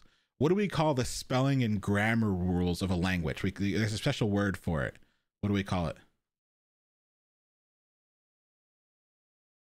Yeah, we call that syntax. Like the spelling, grammar rules, the punctuation that make up that language, we call it syntax. So HTML has a very interesting bit of syntax. You have your opening tag, right? And your closing tag. And the way that the closing tag differs from the opening tag is that lovely forward slash, right? And so sometimes our opening tags can have some superpowers or some extra things that enables that tag to do. And so here we see one of those superpowers, we call them attribute value pairs. So next week, when we get into CSS and we're trying to style things, we're going to see these classes and IDs and all these things pop up that we need to put on our HTML so we know what tags we're talking to, right? So we notice that in our opening tags, we can have attribute value pairs, and our closing tags always have that lovely forward slash. Sometimes, however, sometimes, however, right, there's a tag that doesn't need a closing tag why would a tag maybe not need a closing tag? Yeah, because it's self closing. Yeah. Uh, because if they're already content, right? So we saw images. Images don't have a closing tag because they're already content. Here, you can see we're wrapping around the content that is text. Hello world is the text, right? And so we're wrapping around that text. Beautiful. However, when we are looking at say an image, it already is content. We don't need to wrap around the content. It is content. Beautiful. All right.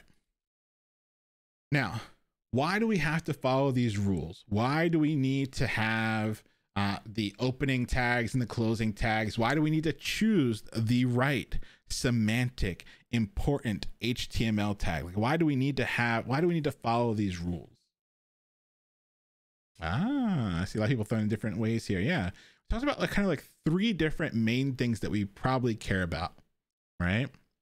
We care one about our general users. We saw that if for some reason like an image broke, having that alt tag helped our general users know that there should have been a brownie photo there, right? So we have our general users. If we don't use the right tags, they're just not going to have a good experience.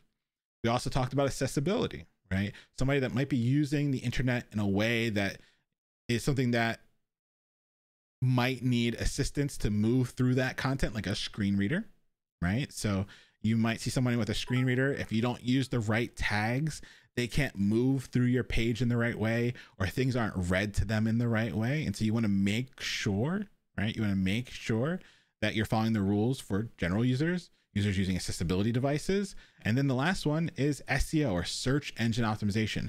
If you want to show up on Google, you want to show up in these search engines, Google comes to your site and they're going to try and figure out what your site is about. Now, I don't say I'm not saying Google does this, but let's just let's just use this as a thought experiment.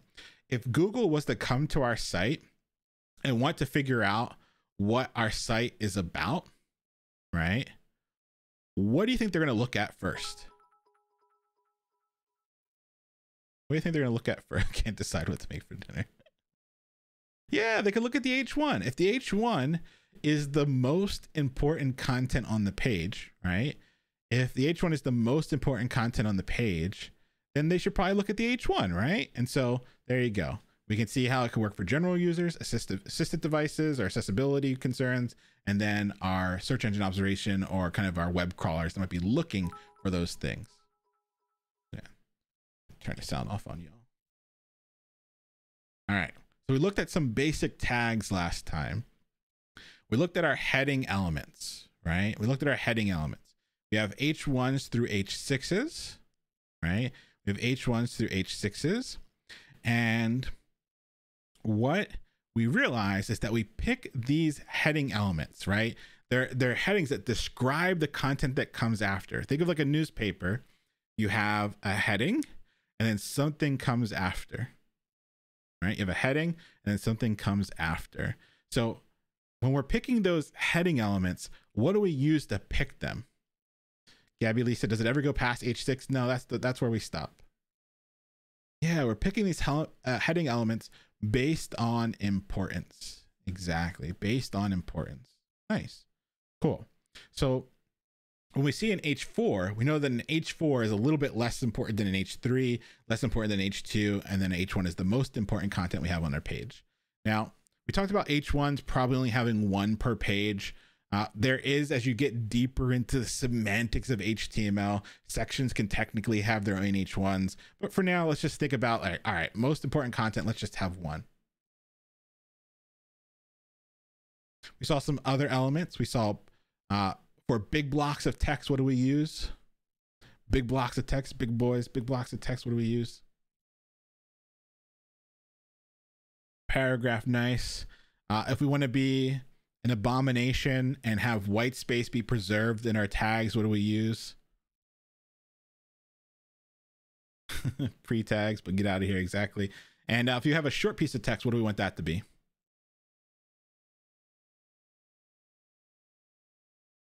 Nice. Span. All right. We got it. Uh, BR tags, HR tags. Skip. Just to skip those. All right. Access device elements. We have em and strong tags. All right, em and strong tags. Remember, we talked about em and strong tags being somewhat like odd. If you look at an em tag, it makes our content italicized. And if we look at our strong tag, it makes it bold. If we use an em and strong tag to make something italicized, italicized and bolded, did we violate separation of concerns?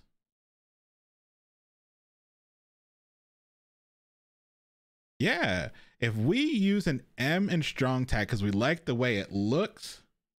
It was at this moment that he knew he fucked up. Exactly.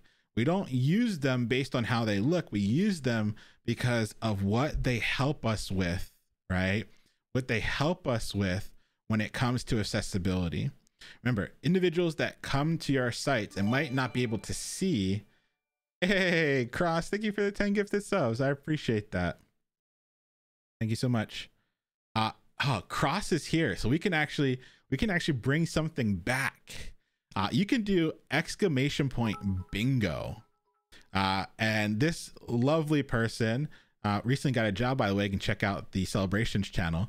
Uh, made a bingo game early in the last last cohort, and so some people religiously play bingo while the stream is going on um, to to to just have something to help them stay a little bit more focused. And I repeat a lot of words and I say a lot of funny stuff, and so uh, there's some things that come up quite often.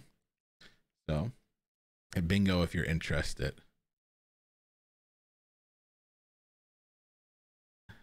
Let's see.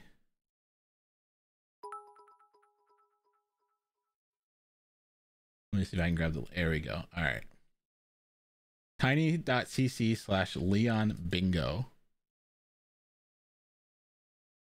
and it takes you to a to a, a netlify app which we'll all learn how to use netlify and we can create a board and uh, so you can see lovely things here don't call yourself a junior dev join us for office hours leon mentions his onlyfans leon says automatically i say that word a lot um it's not stalking, it's networking. No. No. Someone redeems a soundboard alert. Um, and so each time you create a card, it's a completely different card. And so you you can play bingo if you would like. Um, tiny.cc uh, slash Leon bingo. and there you go. Thank you, indifferent just something fun to do while you're watching stream. And thank you, Cross, for it. And thank you for the uh, 10 gifted subs. I appreciate you. All right, let's keep pushing, folks. All right. We also talked about there are lists. We have two kinds of lists ordered lists, where if something is not in the right order, it messes up, like it's a problem, right? So we think recipes should be an ordered list, whereas something like a grocery list doesn't matter if you put the the bread before the pickles, right? Uh, so that that list doesn't matter, and so you can keep a different order. All right. We also have containing elements, right? Uh, containing elements are how we're going to group content together. They're going to be the tags that we probably use the most. Uh, divs, it's not that divs are, are wrong or you shouldn't use them. We just have a lot more semantic decisions that we can make these days, a lot more semantic choices that we can use.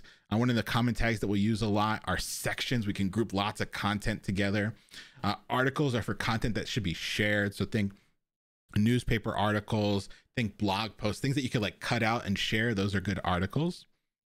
And aside, uh, if you read the MDN, which you should all have open, the Mozilla Developers Network. Thank you, Booty Liquor. Hey, hope you're doing well. Thank you for stopping by.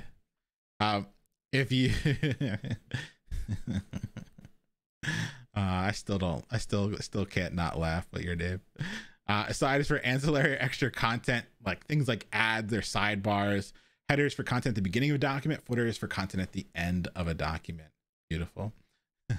Booty liquor has returned. nice. All right. We also talked about there are some deprecated elements, like elements that we can no longer use, right? Things that we used to see all the time, right? Back when we were building our MySpace pages or our Neopets accounts, right? We uh we we we we had this idea of blink tags and marquee tags and bold tags and i tags why are all these tags deprecated and no longer used? Mon and Lucky Tiger, thank you for the hydration. Cheers to you.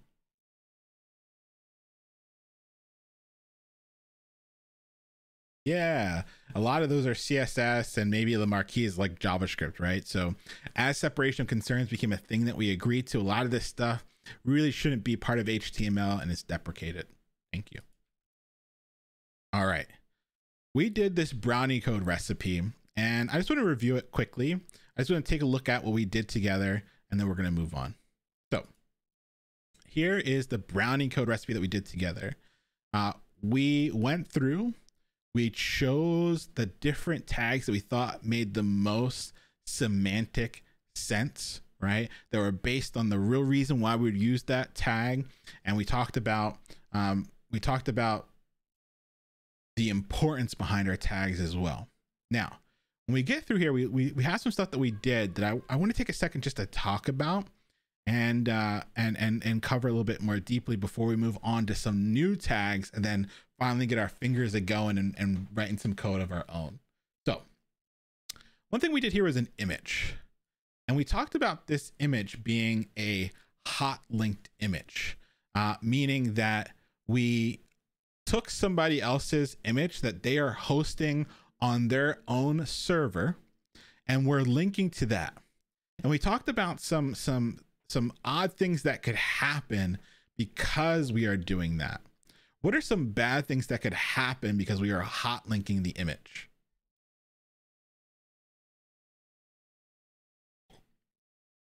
They could take it down. y'all just y'all popped off of this. so the Twitch has a filter. And when you put stuff that like breaks the filter, I can still see it sometimes if my mods don't remove it before I see it. Um, but sometimes I get to see them and they're funny.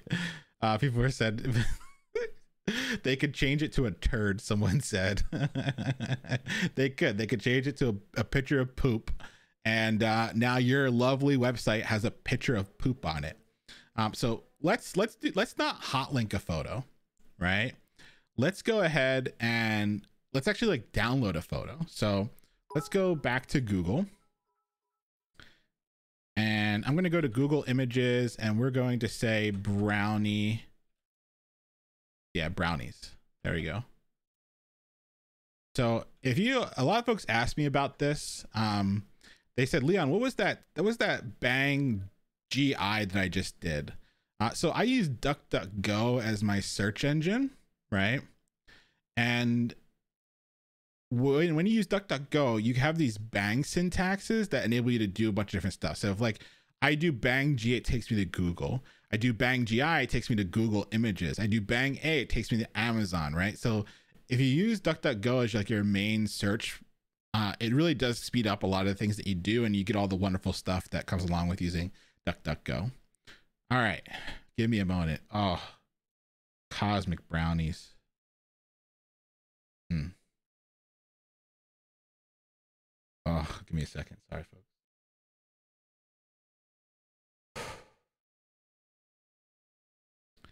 If you uh I, I can I can know a lot about you. I know a lot about you. If you grew up eating a honey bun and a cosmic brownie for breakfast, I, I know we we've gone through a certain struggle together. And so that that's how I know. And so give me a second here. Oh, I haven't seen it. I haven't had a cosmic brownie in a minute. All right. Let's click on this one. Nope.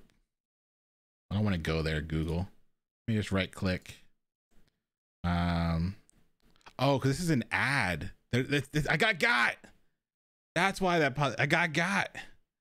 it's an ad. When did they start putting ads in here? Oh, that's so dirty. That's so dirty. Because you're like trying to get the image and they put ads out there. What? Wow. They wildin'. Oh. Hmm. I can't you, we can't go wrong with you these ones. Oh, look at that. All right, right click. Save image as and we're going to look at all my screenshots I did for the stream. All right, we're going to go to class 3 and we're going to save this as brownies.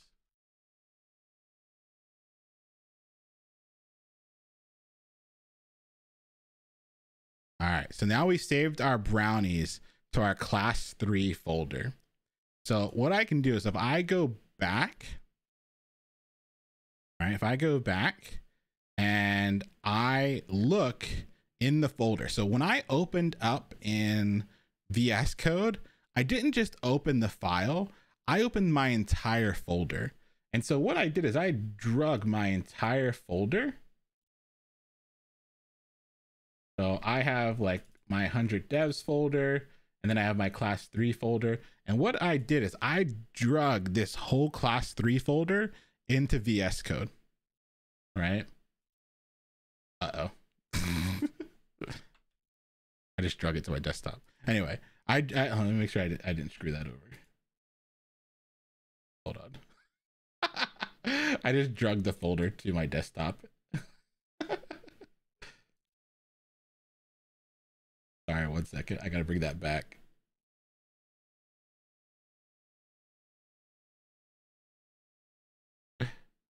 All right.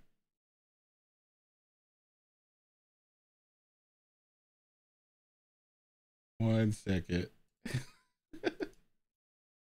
All right.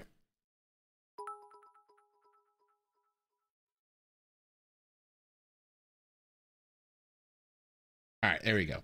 So I drug my class 3 folder into VS Code. And what that did is it opened up the entire folder for me in VS Code, right? And the beautiful thing is I just saved my brownies photo into that class 3 folder. You can see it here, right? That brownies.jpg. You can see it if I open it up, look at that delicious photo, right? So now I have the the photo on my computer. I just right clicked right? I just right clicked. See, I say certain words wrong because it increases my engagement. Y'all got got. You're all saying drag, drag, drag. Now I drug it. You're gonna have to deal with it. Thank you for the engagement. you got got. You got got. Um.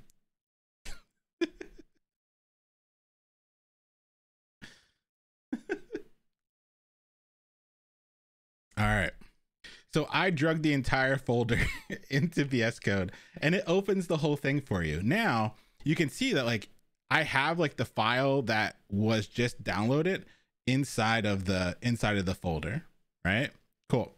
So now instead of hot linking this photo, what I can do is I can actually just link to that photo directly because my brownies.html is in the same folder as that brownies.jpg, all right, .jpeg, right? So if I just type in brownies.jpg, that source will know from this HTML file to grab that image. Got a lot of hydrates in here. Tortuga, Memphis, Nomad. Thank you for the hydration. Cheers to you. Right. And so now I have that lovely photo that no one can change on me. Right. No one can change it on me. And so if I go ahead and open this in the browser, you can see that my photo still is there. I don't have the hot linked version anymore. It's the photo that I just downloaded. Right. Now, somebody's saying, does this work on CodePen? No, because CodePen doesn't give you the ability to upload or download a, like a like a, an image. On Glitch, it might work because on Glitch you can upload stuff, right? You can upload files and things like that. Mm-hmm. So that's why I like Glitch. If you're if you're gonna be stuck, uh, like not sorry, not stuck. Like if you're gonna be using like say like a Chromebook or you, you have a computer that can only really use the browser, using Glitch is good because you can upload different stuff to Glitch, right? So if you're gonna use Glitch, like let's create a new project. Um, this uh, a website.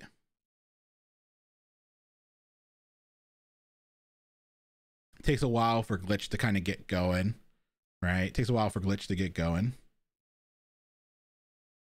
And there are other things. I just I just happen to like Glitch. I think it's easy. The cool thing here is you can up you can like do files, right? So if I do plus files, I can upload a file and then let's go ahead to stream 100 devs class three. I can upload the brownie and can I do two files at the same time? Now just one at a time. So I can upload my brownies.html file and boom, my brownies.html file, right?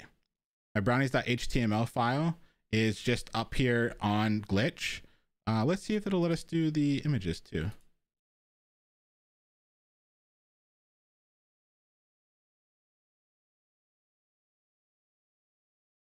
Not sure. Oh, assets. Probably have to do it through assets. Yeah, upload an asset. Brownies.jpg. Let's see. Cool. Now we got our brownies.jpg here. And cool. And so with this, you can actually like preview and do a bunch of other stuff, right? Like, but now you could go to this brownies.jpg uh, sorry, this brownies.html and see it. Uh, let's see. Open preview in a new window. And then let's go to brownies.html slash brownies.html because that was the name of our HTML file. All right. So it doesn't like the linking directly to brownies, but I'm sure there's a way to do it in glitch. I don't I don't use glitch that often, um, but I'm sure there's a way to to take your asset and connect it uh, to the brownies.html, right? Oh, is there is there a folder called assets? Is that what it is? Let's see. Um, let's see. Assets slash brownie. Does that work? Cool. Let's try again. No. I know there's a way to do it. I just uh I gotta look at it. Yeah. So that that's the idea here, right? Might have to be like a, a like a real link. Sorry, I'm try this real quick. Let's try that.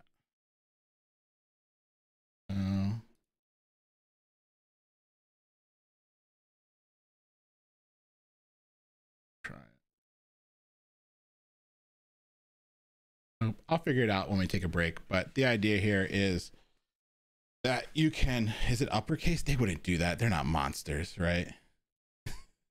it is a capital A? No way.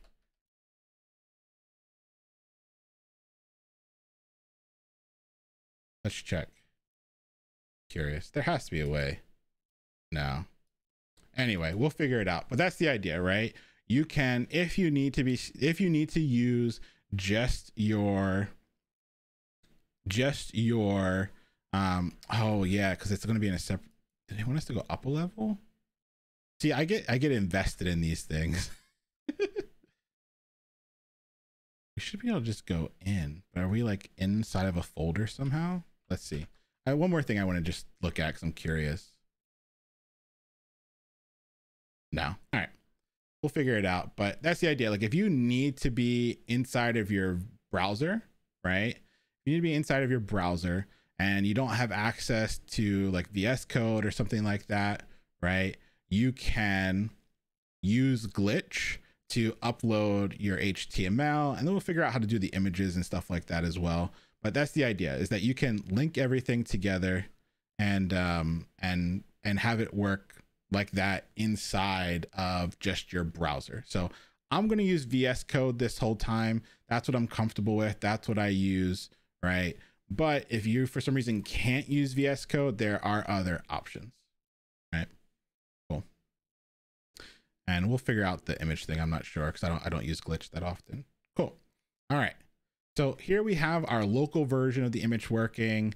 Uh, we had some other lovely things down here I wanted to show out. We have our lovely alt tags that were working. So we have an anchor tag that opened and an anchor tag that closed. And we had the ability to put in our actual href, right? Right. Right. Put in actual href, right? And there we go. Oh, I think we did. I think people figured it out. Yeah. So mine was a was a was mine a JPG? Let's see. Nah, it was JPG. Did I put JPEG? Let's see. Nah, I had it right. I thought that was a good idea though. Cool. Click the image. Is it not a JPEG? Did they convert it to something else when it got uploaded? This this is no. Oh, it does give us the CDN though. Copy URL, so we can do that. And we can come back to our HTML and put it in like that.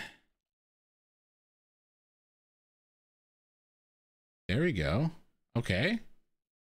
And then glitch. I know you autosave. It's just a, it's a habit.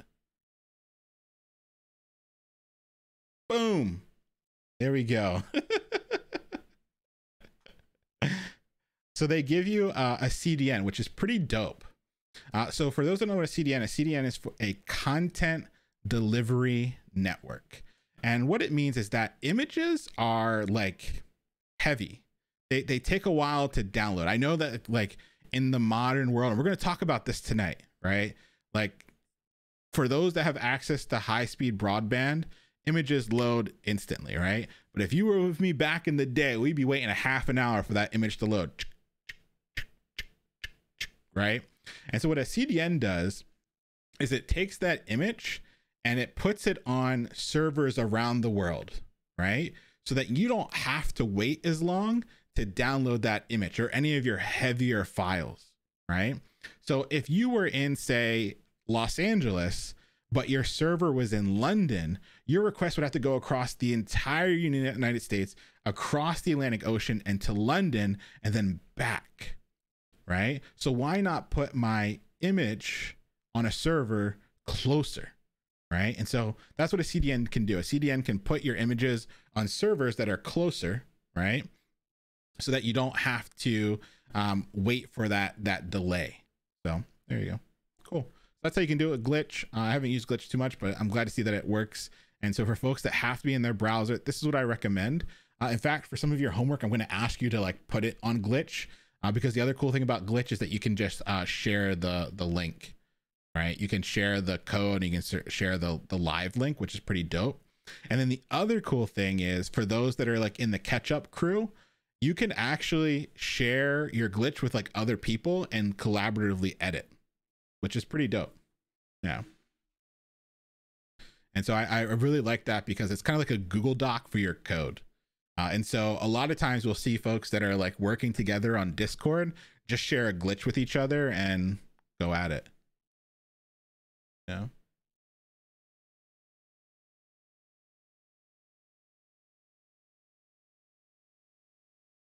Alrighty. Keep pushing. But like I said, I'm using VS Code. We're gonna see me use that the most, but I wanted to show another option for folks that don't have that that luxury. Uh, there's one other thing I wanted to show you. What you'll be noticing I do a lot is I uh, right click and I open in my default browser. There are many of plugins that you can use. This is one of the very few plugins I'll ask you to use in the beginning, uh, or extensions as VS Code calls them. And it's called an open in browser uh, plugin. I use Tech ER's open in browser plugin, right? And what that does is it just opens the file for you in your in your default browser. So instead of having to like drag your file to the browser or doing file open in the browser, it just opens it. I don't like live preview or any of those in the beginning, um, just because I, I want you to get used to saving. I know it sounds really dumb to have to like get used to saving, but I really do want you to get used to saving because I've had so many people like in real interviews, like staring at their editor because you don't always use like your own editor. You use some other like like uh, like you use like a editor that's in the cloud right? I've had people in interviews staring there going like i don't know what's happening. Like it should work because they didn't save. So get used to saving for a week or two and then if you want to use things that like auto save and refresh for you do it. But get used to saving refreshing just so that it becomes some muscle memory so that when you're like in the actual interview you don't get got. It sounds silly um OCC said I've done that live coding interview didn't update because I didn't save exactly. So get into the habit so that like something clicks in your brain when it does happen. So I use the open in browser one, uh, which I find really helpful. Uh, something else a lot of people were kind of confused about last time um, is that you can change a lot of settings in VS Code. And so on Mac OS, it's Command comma. On your operating system, it might be uh, Control comma. But that opens up settings, and you can type things like HTML and it'll give you all your settings for HTML. So I just did command comma, which opens up settings. You could also do like code and then preferences, which will take you to settings, but I did command comma, it might be control comma on yours. And then in settings, you can type in HTML and I have my um, auto closing off, right? I don't like that auto closing where like I open a, I open a tag and it automatically closes it. So I turn that off. So just some settings that I use uh, to make my life a lot easier while I'm using VS Code. I wanted to show you some local images. We're gonna have lots of practice with like local images, local files when we get to CSS because we got to get good at it. Um, so I just wanted to show you the basics today with something that we've already seen.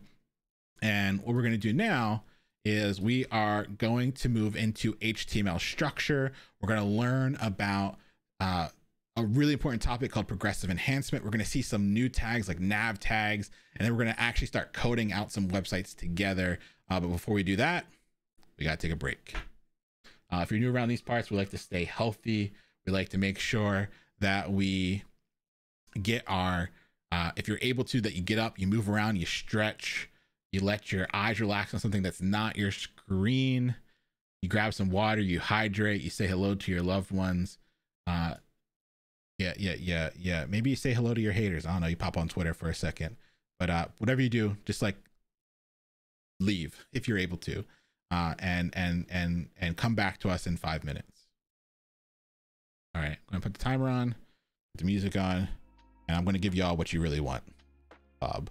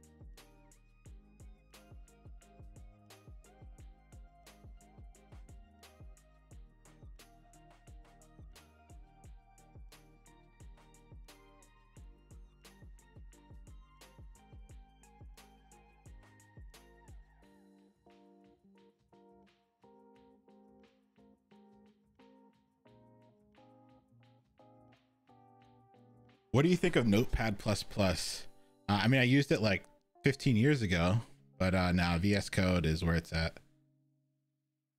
Do you vape? Nah. Great stuff so far. Learning a lot. Hey, glad you are. Thanks, remember. Do you like people always I I mean I like Digimon. I haven't like been involved in it in a very long time. Do I make vegan pho at home? Of course, like all the time. Have you read Stormlight Archive? No, I have not. Can we see your computer setup? It's wild. It's it's super ridiculous. One of these days I'll I'll share a photo with y'all, but it's it's it's it's pretty wild.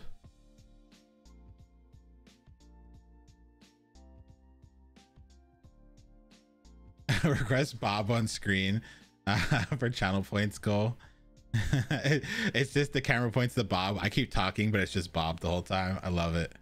Good one. You watch sports? Not really. The only sports I really watch are rugby and a little bit of soccer here and there.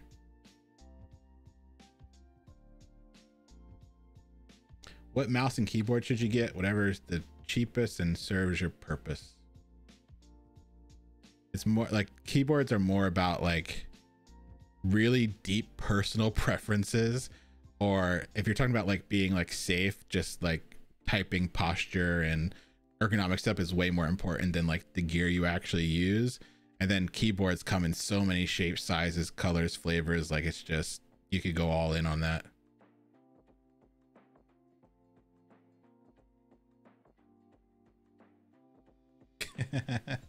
Rotor by Pops.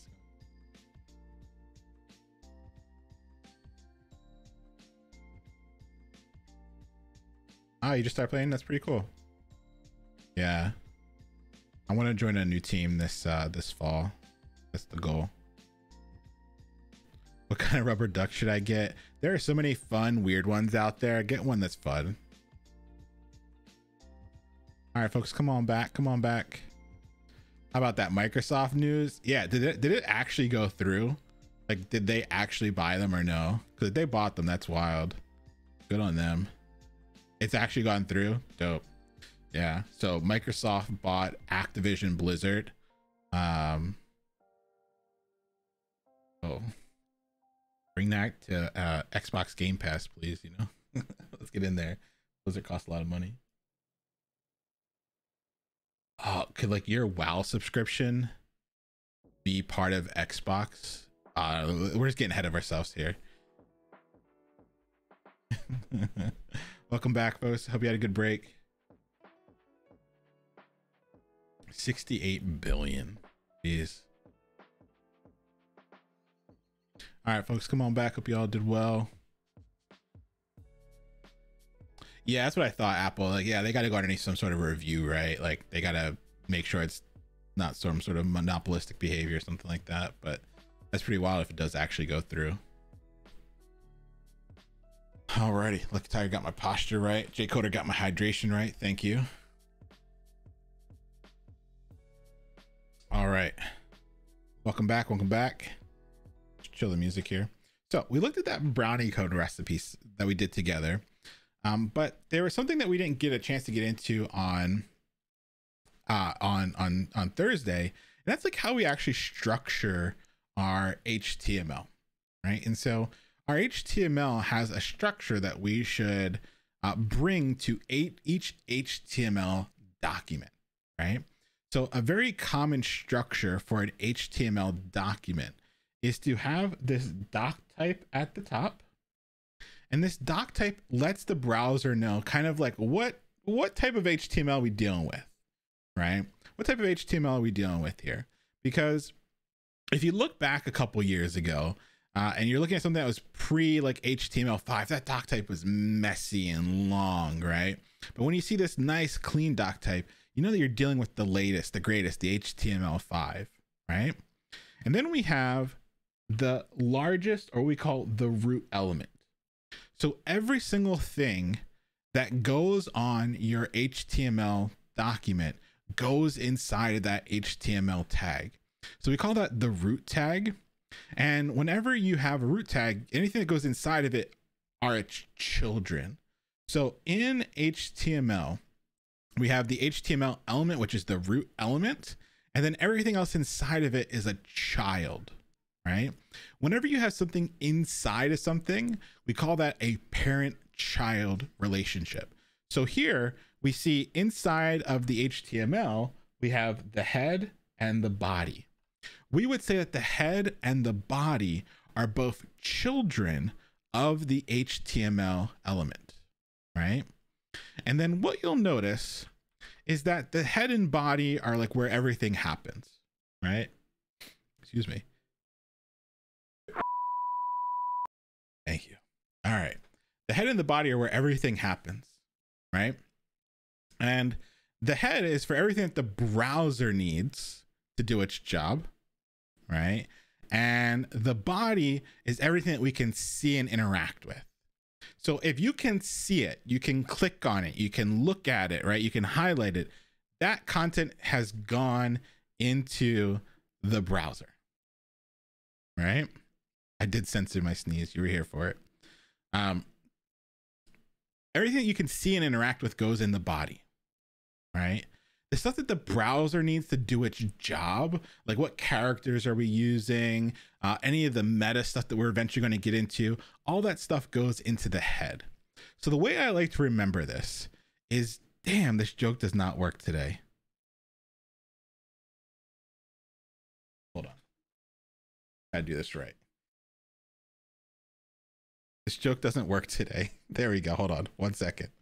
There we go. Better the way I like to remember this is that you can see my sexy body, but you can't see what's going on inside my head. Right? You can see my sexy body, but you can't see what's going on inside my head. Let that burn into you for a second. Hold on. You can see my sexy body, but you can't see what's going on inside my head. Okay, that's the same thing that you have when we get to our HTML. If you can see it, interact with it, it goes inside the body, right? You can see it, you can interact with it, it goes inside the body. But if you can't see it, if it's something that just the browser needs to do its job, that goes inside the head. So if we were to go back to our HTML here, where does all of this stuff go inside? every single thing that we just coded out with the brownie recipe, where does that all go? It goes inside the body. Nice. Cool. It goes inside the body. So let's actually set that up. Something neat inside of most text editors and, and specifically VS Code is that you can do a little shortcut. So if we go up to the top here and I just type HTML and I hit tab, it kind of does everything for me. Let me let me do that again. Hold on, let me let me do it. I just typed out HTML and I went to this like HTML5, right? Like cuz I do the HTML just gives me the HTML tag. But if I type out HTML and I get this little drop down, I go to HTML5 and I just hit tab. It gives me everything that I just showed you.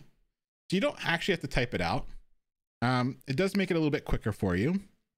And this is like the one time that I would recommend you do it. Everything else, I think you should type out. Heck, I even think you should type out this stuff, right? I think you should even type out this stuff uh, as well, right? But you can see there's a lot of stuff here that the browser might need. And, and don't worry about this stuff here for right now. We'll cover all this stuff when we get to like CSS. But for right now, we got our doc type HTML we got our root element, and then it's two children, the head and the body. And I always like to indent. So I, I always do a little tab just to indent. And then all of the content that we did before, right? All the stuff that we did before, I'm going to cut it or command X in my case or control X in your case. Cut it. I'm going to come up to the body. I'm going to paste it in there. Now, for some reason, it didn't auto indent, so I'm just going to highlight it all. And I'm going to indent. Now, Leon, why do you indent? I indent because whenever you had a parent child relationship, right? Whenever you have a parent child relationship, you want to put a little respect on the name, right? You just want to do the indentation so it's easier to see, right? It's easier to see that this H1 is inside of the body, right? It's easier to see that this H1 is inside the body, that the image is inside the body. So whenever you have a tag that is inside of another tag, we put a little respect on the name and we indent. Okay. Right now, is my code saved?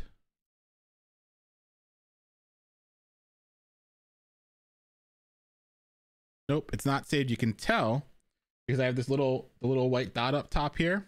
That's how you know it's not saved. So as soon as I do Command S or Control S, if you're on a different operating system, you can see that it's now saved. If I go back and I refresh, is there anything that's going to change here? I added all this extra HTML, but is anything going to change? No, right? We just added more structure to our HTML. And as we start to build out richer and richer sites and eventually applications, this stuff all starts to be needed, right? All starts to be needed, right? Thank you for the hydration. Cheers to you all such needed just to make sure that we're, we're agreeing to those rules. Remember, we talked about like why do we have to follow these rules?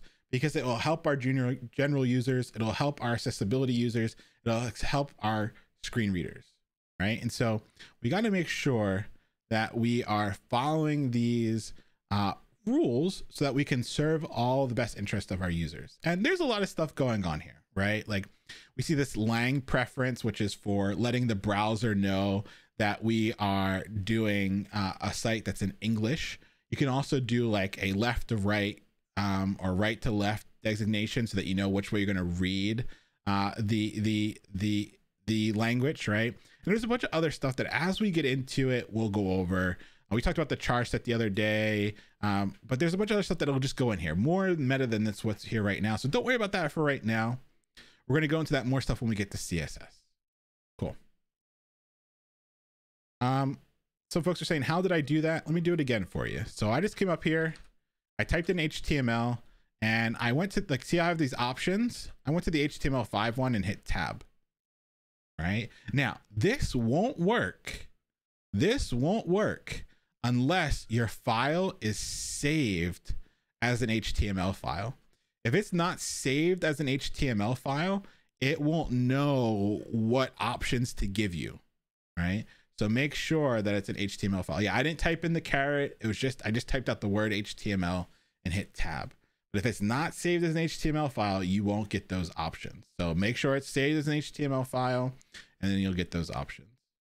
How do you, how do I indent so fast? I hit tab. Yeah. A lot of people keep asking tabs versus spaces. I have my tab set to spaces.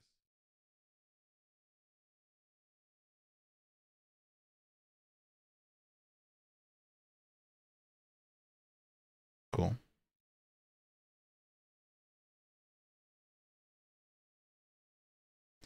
Alrighty, folks.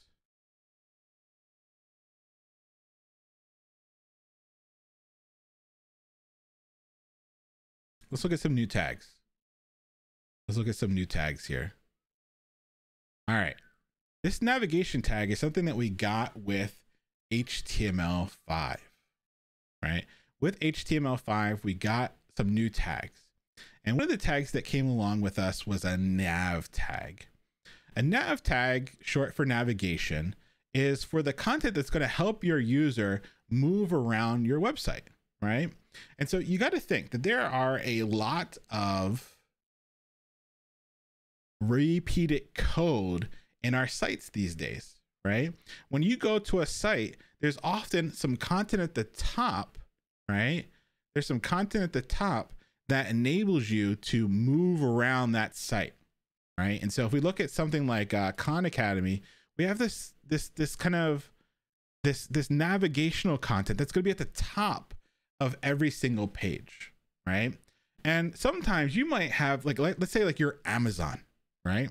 Let's say you're amazon and you have thousands and thousands, if not hundreds of thousands of pages, and Google comes to your site and they see this word donate over and over and over again, or they see like buy gift cards over and over and over again, they might start to think you're trying to do some shady stuff called keyword stuffing, where you're trying to convince Google that your site is about, say, donation, or your site is about um, uh, gift cards or something like that. But that's not what you're saying.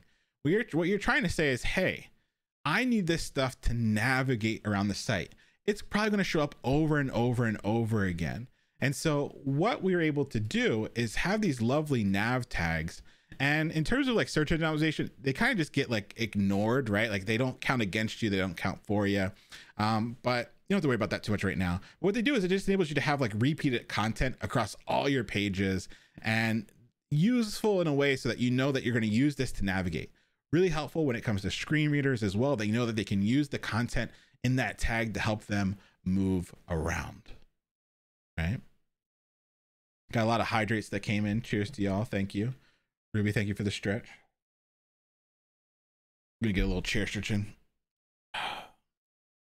Thank you, thank you. Cool. So whenever you have navigational content, we're gonna use this lovely nav tag, right? And we're gonna see this over and over again. We're gonna we're gonna we're gonna put this into practice, right? We're gonna put this into practice. But this nav tag is something that we're gonna use to help us when it comes time to having content that directs people around your site. So right up here, we see a nav on TechCrunch. We maybe have like a nav on the left hand side. On uh, BBC, we had a nav up top as well. So this idea is that we're going to have these navigational elements that enable us to move around our application. Now, inside the nav, we often have a list of links, like the places that we're going to go to. And so that's why you'd often see like a UL with LIs and anchor tags inside. Cool. Now, so far, right? So far, we have only shown data to users, right? We've only shown data to users, right? But how do we get data from users? What can we use to get data? If you did the Shay Howe reading, you should know this already. What, what do we do? How can we get data from users? We use a form, exactly. And so here we have a form tag and a form is an open and closing tag that wraps around inputs. Just like you have an OL and a UL that wraps around LIs, like you would never have just an LI, right? Your your LIs are always going to be wrapped in an OL or a UL, right? Always going to be wrapped in an OL or a UL. Same thing with a form. We're going to have inputs, and those inputs are always going to be wrapped in a form tag. Now, form tags have some pretty cool. What are these called? What are these called up here? Let me let me ask y'all. What is that called? What are these called? Yeah. Forms have some pretty cool attribute value pairs. We don't have to worry about them right now. When we get to like building our full stack applications, these become a lot more important. Uh, actions are like what happens when the form submits. So if you've ever submitted a form and it's taking you to like a thank you page or a confirmation page, it could have been one of those those attribute value pairs that helped you do that. Uh, and then also like, what are we doing with that information? Are we sending it somewhere? That's where the post comes in. But like I said, you don't have to know about these attribute value pairs just yet. We'll get to them later on when it becomes important. But what we do need to know is that inside of a form can go a bunch of different kinds of inputs. We can have text inputs, password inputs, tel inputs, email inputs, button inputs, all these different types of inputs that can go inside of a form. And there's a lot of them. With HTML5, we got a lot of these new input types. And the MDN has a full list of them uh, should you want to see them, right? So MDN has a full list of all the input types. Um, but let's go ahead and build a simple form together. So I am going to go back to my brownie dishes here. And I'm just going to go ahead and give myself a little form at the top here. Just a little bit of room. And I'm going to go ahead and just do form. And I'm going to hit tab. There we go. Cool. So I have my form. I don't really care about any of the attribute value pairs right now. We can just let that be. And inside of my form, I'm going to put three inputs. I'm going to do input type text.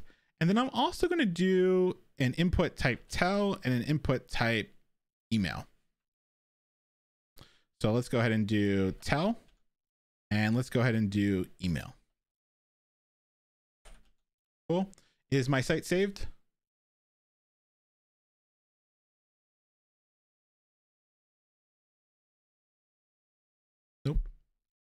Uh, some folks are saying that they can't see the screen.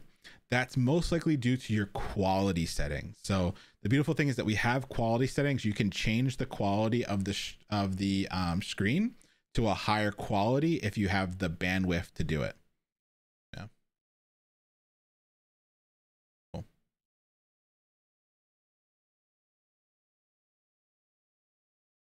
All right. And then sometimes you just got to refresh.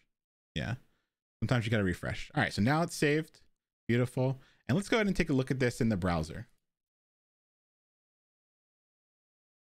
Which one it was. There we go. All right. Let me refresh uh, because I can't see it, right? I can't see, I can't see my form yet. Why can't I see my form yet?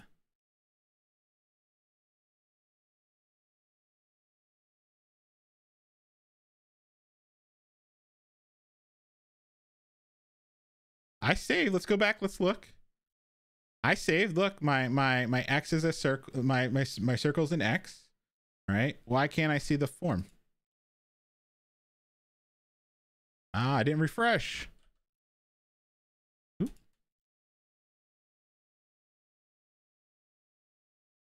Is my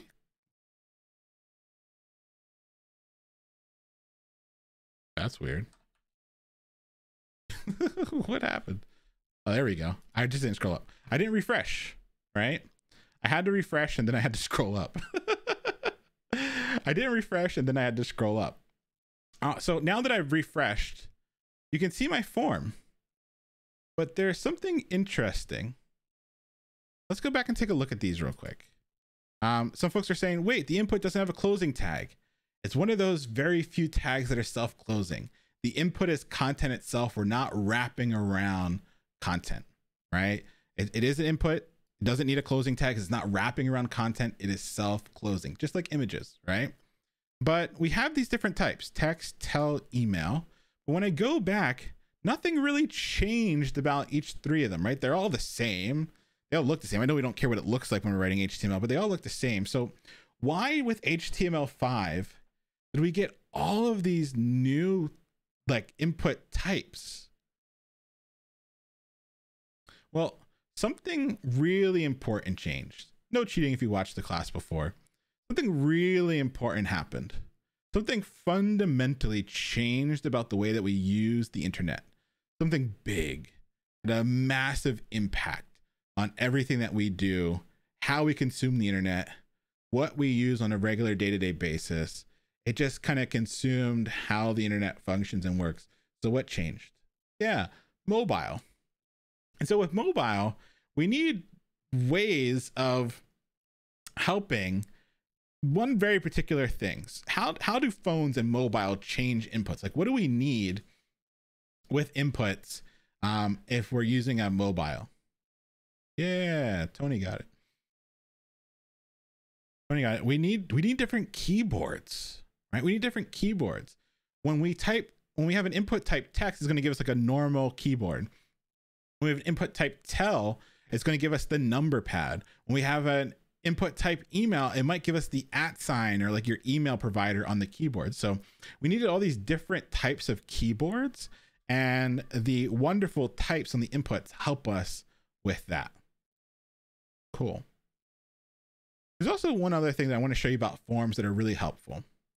And so here we have a form and I'm going to have a label and there are a couple different ways of doing labels, but let's just say that this was, um, we want we want the first input to be like your your first name. So let's let's put a label called first name. Right, first name. And what I want to have happen is I want to tie this label to this input. And the way you can tie a label to an input is by having the same for attribute as the ID attribute on the input. So I'm going to give the for the attribute of zebra, right?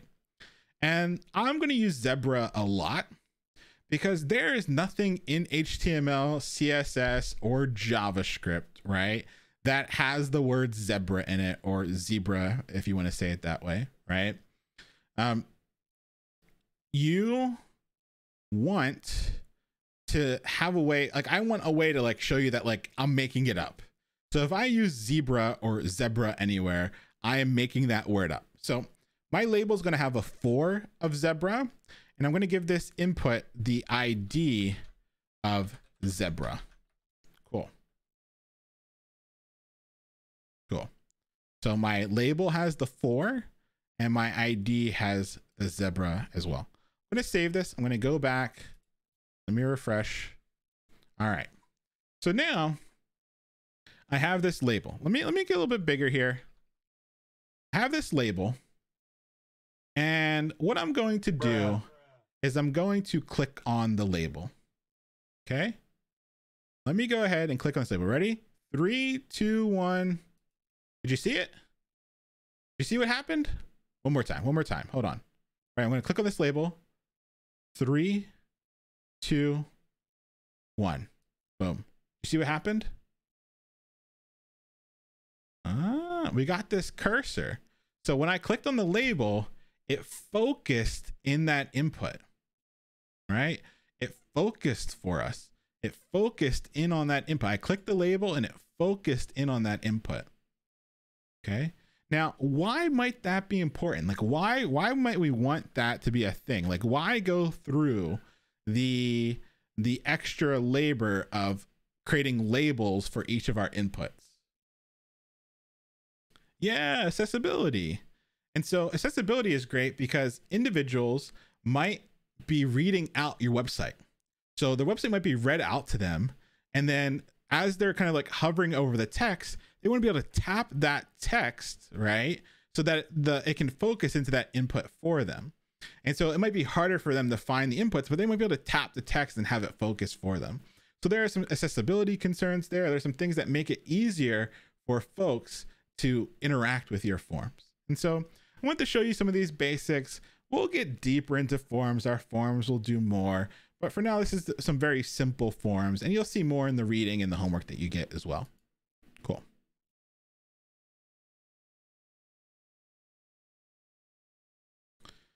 All right.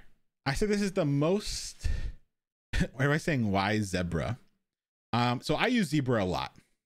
And I taught a class uh, at GA and it was like a it was just like a front end class, which is like two nights a week for 12 weeks.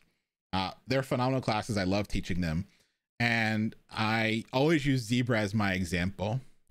And at the end of that cohort, um, a person came up to me. They gave me a, a beautiful zebra pencil as like a thank you, and said it's called Zebra, and then they walked out.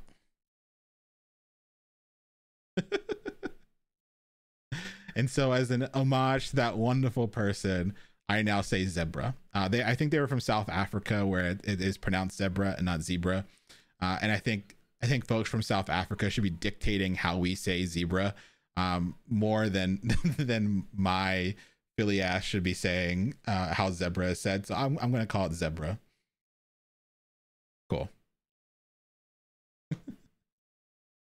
now, I said that this was the second most important thing we're going to talk about tonight. And it's called progressive enhancement. And progressive enhancement is a really important concept for a lot of our users. And all all progressive enhancement really means is that we should be focusing when we're building our websites at the core of our website should be our content, our HTML, right? That should be our chief focus. That's why we start with HTML. If you're thinking about building a website, your focus should be the content, the HTML. And then we're going to take that HTML and put a nice chocolatey coating around it. And that chocolatey coating is our CSS. And then we're going to wrap that chocolate and peanut in a very thin candy coating that is our JavaScript. Okay. And so the idea here, the idea here is that the core and the most important is the content, the HTML.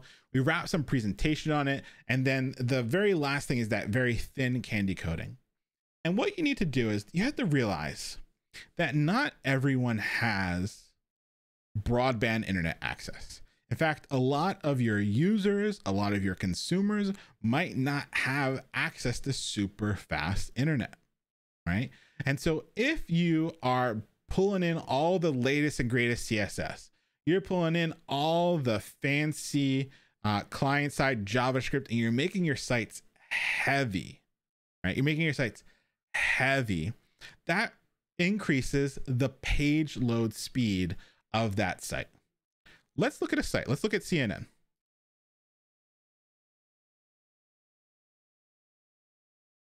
I don't know what that was. CNN.com.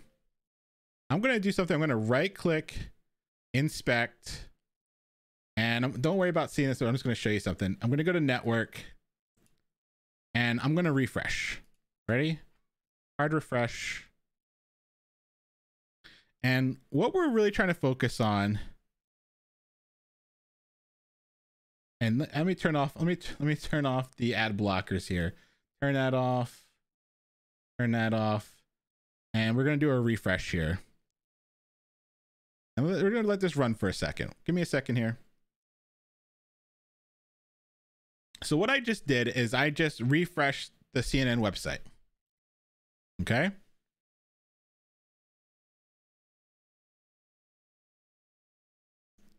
And what we're seeing, it's still loading. You see all that movement? That is it still loading, right? We're 26 seconds in and there's still stuff happening. There's 17 megabytes of resources that are coming in. 897 requests that have been made so far. Remember, when you go to a website, you make a request to a server and you get stuff back. Oh my, I don't even know if I can stream that um, you're getting all those responses back. So that's like almost a thousand requests that have been made to different content, right? 21 megabytes of resources, right? And there is a good chance that some of our users might not be able to load that site. That's a lot. That that's somebody's data cap that we're eating into just going to a news website, right? Just going to a news website, 21 megabytes of space, over a thousand requests. And so this really escapes progressive enhancement. But they realized that. They said, you know what? Let's get back to our roots, right? Let's make it so that our users that may not have access to high speed broadband could still use our site. And they did what a lot of sites are doing now and they made a light version of CNN. So this is light.cnn.com. Right. Let's do the same thing. Let's go ahead and, and inspect. Let me turn off my ad blockers for this site again. There's notice there's only one that popped up. And let's go to network and let's do a hard refresh. So we're not even at we're at like a third of a megabyte, right? And only five requests as opposed to a thousand and untold megabytes of, of data, right? And so this is a beautiful website that takes into account progressive enhancement. The idea that the thing that people really care about, right? Hey, Rob, thank you for the bits. The thing that people really care about are the articles, the stories, right? And so they, they want to be able to look at that and have a clean experience. This is a beautiful website in terms of progressive enhancement because it just gives you what you want. There is no need for the chocolatey coding, maybe a smidge of CSS, and definitely no need for the, the heavy JavaScript, right? And it's important to keep these things in mind. And I, I pulled this up. In 2017, the US said that 22 million Americans, or roughly 35% of the nation's rural residents, did not have broadband access. Let's think about that. In just 2017, in 2017, 22 million Americans, about 35% of all rural residents, lacked broadband access. So that's a huge portion of your consumers, a huge portion of folks that are trying to access the internet. That if you go out and you wow out and you add tons of really heavy things to your site, that doesn't really matter, right? It doesn't really matter. You are impacting your users. Now, something that was really cool that I looked up too is that in 2015, 2015, AOL had 2 million dial up subscribers. In 2015, in 2015, AOL had 2 million dial-up subscribers. They now said that they have very few, like they like like in the thousands, but in just 2015, 2 million people still are paying for AOL dial-up, and that's just AOL. So when you think about progressive enhancement, I don't want you to think about some other place like like even in just the US which has decent infrastructure we still have lots of individuals that do not have access to broadband. And so then when you expand that to the rest of the world you got to think about do you want to reach people or not? And you should be keeping progressive enhancement in mind. I actually just got i don't know if it's in the room. I just got a 56k modem because i want to do some fun stuff with it but yeah. All right. So, with all that we have in mind and all that we've learned, let's look at this BBC website. Let's see if we can um if we can get this going here. Let's let's see if we can get get some things popping here and see if we can start writing some code together. So, let's go ahead and look at the BBC website.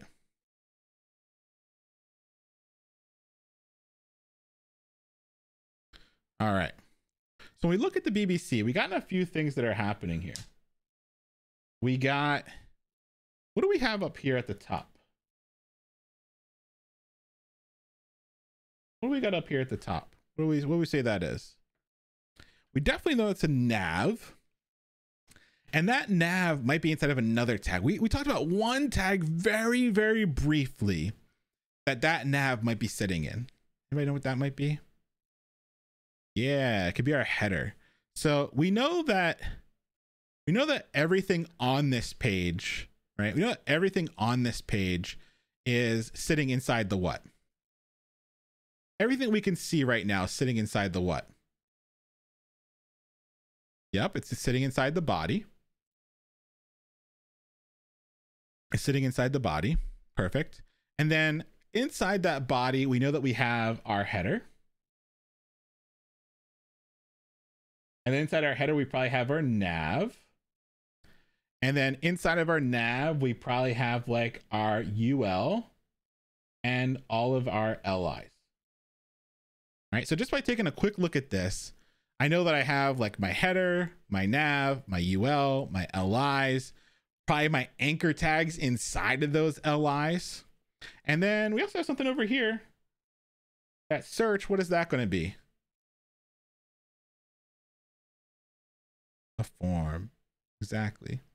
Somebody says, why a UL? Well, it's because we have a list of links. We have a list of links. They don't have to be in a specific order, so it's not an OL. Since it's a list of links, we put them in a UL. Cool. So if we look at this, we have a header, a nav, UL, LIs, maybe a form. Cool. How about when we look here? What would that be? Big block taking up some space. What would that be? a section. Nice. How about welcome to bbc.com? What would that be?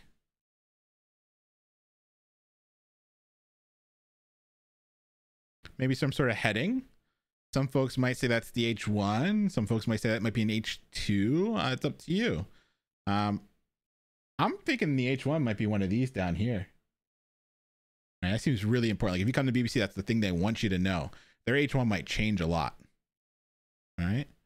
Maybe we got some another section here that's holding the heading, the paragraph, and the span. Maybe we got four more sections over here, each holding maybe a heading and a span. All right. Down here, we probably have like another section and maybe three sections inside of that. And maybe some sort of maybe like an H2 for news and then inside of those sections maybe like an image an H3, a paragraph, a span, maybe an image, a heading, a paragraph, and a span, right? So what you're seeing me do right here is something I do with every single site that I ever get. Right? I mark it up. Some folks are saying, are they articles? So articles I think are interesting. There are some people that are purists when it comes to the articles, and it's used just for articles, like things that you would clip out and share. To me, these all link to the actual article, right? These all link to the actual article. So some developers would say, oh, if they actually link to the article, then they're not actually articles. They're like links to the article that'll be the actual articles, right? And then there are some people that say, actually, those things could be shared. So maybe you can also give them article tags as well. So it's kind of a decision you have to make. Are you a purist that says that that's not really an article, just links to one? Or is that something that could also be shared, right? Could also be shared and therefore is an article, right? Up to you. I'll show you why I do it, but don't take my word for it. Reading Rainbow, you know? Um, but what you're seeing here, this this mess on my screen, right, is what I do for every single layout if I ever am on the job or I have a client and I work with a designer and they give me a layout, I, I, I until I got an iPad, I printed it out. So maybe until like a year or two ago, I printed it out. I'm not ashamed to admit this. I printed out every single design I ever got, and I would sit down with a, a pencil and a piece of paper, and I would draw out my boxes. All right, this is going to be a section. This is going to be a heading. Uh, this is going to be a header. And I would sit there and I would draw it all out and then that just helped me think through it so that when I went to my boomer, so when I went to my my my HTML, I, I kind of had like a direction, like I knew where I was going. And so whenever I give you a design that you have to write the HTML and then starting next week the CSS for, I really recommend like drawing it out. Uh, some people will use some sort of program on their computer to draw it out. Uh, some folks will literally print it out and draw on it but I really think there's a lot of value in and drawing it out. Even if it's even if you just have a blank piece of paper and you draw your boxes on that blank piece of paper, it really does help my brain think through all the decisions I have to make so that I can go ahead and and get through them, you know? So let's look at another one. Khan Academy. if We're looking up here. Everything that we see, everything that we see right now is inside the what?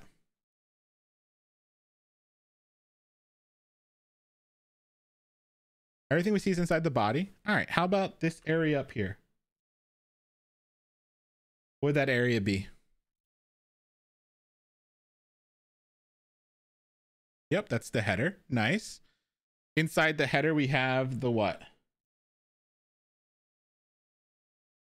We got the nav. All right. Inside that nav, we got some, some what? And maybe a nav and then maybe like a UL and there's some some LIs in there, right? We can definitely see some LIs and some anchor tags. And then maybe in one of those LIs we have a or maybe outside of the the the nav depending how you think about it. We have a form. We have a what? How about that? What would that be? An image, nice. And then these will just be like normal LIs and those LIs would have what inside of them?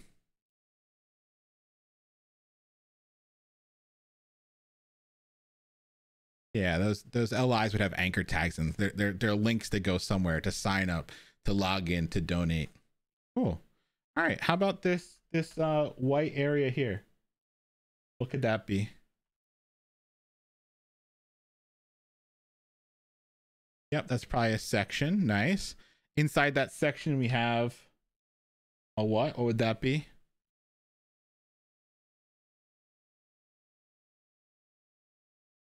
An image of some sort. Beautiful. And then we have a what? what would that be? H1. Nice. How about this here? What would that be? paragraph. Nice. I feel a paragraph there. And then this one's tricky. What do y'all think this could be? What are those? What are those?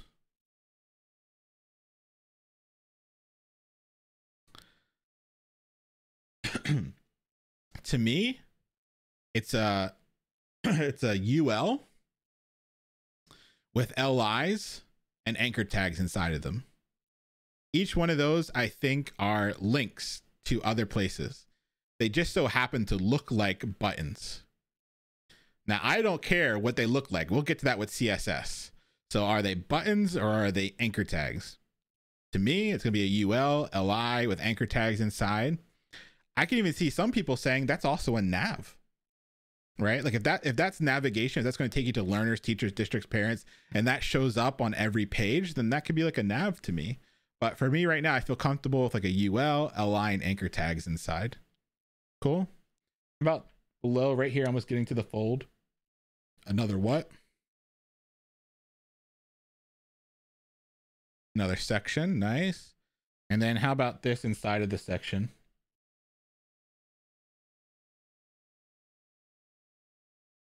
H2. Nice. Look at us go.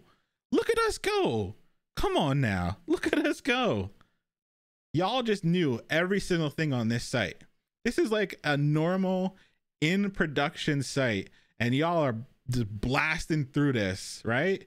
I told you it's it's not it's not too much, right? Like you learn some of the basics. Beyonce has arrived. You learn some of the basics, and you could start to really kind of to really do the HTML for these sites.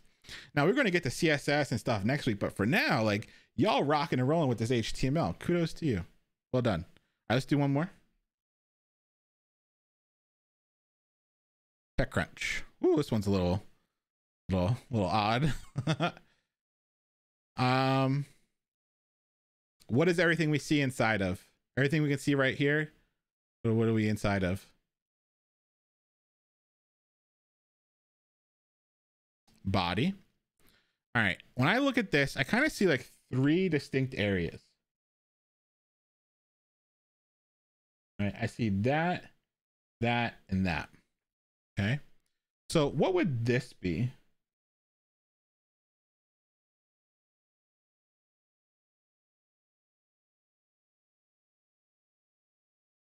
Definitely a nav, right? Definitely a nav.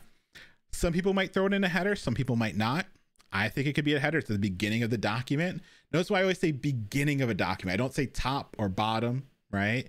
It could be a header. It could have a nav inside of it. it could just be a nav, right? Uh, inside of that nav, we have a what? What's inside of that nav? A UL, exactly, with LIs. And inside of those LIs are probably what? Anchor tags. Nice. And we also have probably up here like an image that's their logo or something. Cool. How about the box next to it? What would that be? Like this, this, this uh, big boy over here. What would this be? Like that whole box. What would it be? Section. I can see being a section. That comes down to that argument again, right? Is it a section? is it an article? To me, section. Some other folks might argue and say, no, it's an article. But to me, articles are meant to be fully shared, right? So I would say section here. And then what would this be at the top?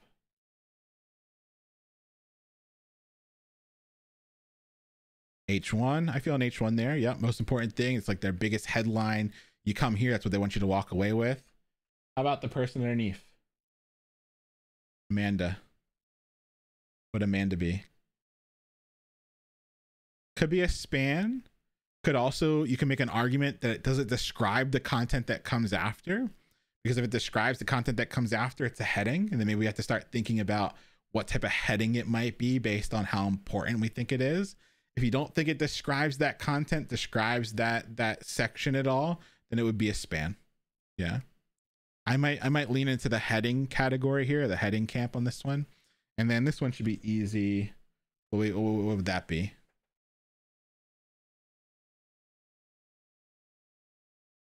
Yeah, an image. Cool. And then we got something interesting over here on the right. Got something interesting over here on the right. What do you what do you all think that this this uh this could be? I see a lot of people saying an aside. I don't think it's an aside. I think that's important content. I, I, I think it's not ancillary or extra or something that they could like remove and the site still be okay. I think these are like they're like important stories. Like they want you, they definitely want you to go to these stories, right? So to me, this could be a section, and then inside that section could definitely be a UL. Some people might just make it a UL, which could be weird, right? But like you could just make it maybe a UL. Um, it could be a section with a UL inside of it, or some people might even do a section with an article inside. And those could all be all four of those could be articles. Um, I actually think TechCrunch does list those as articles, but to me, I'm a purist. I think articles are meant to be shared, and that to me isn't. I think those link to articles. So for me, this would be a UL.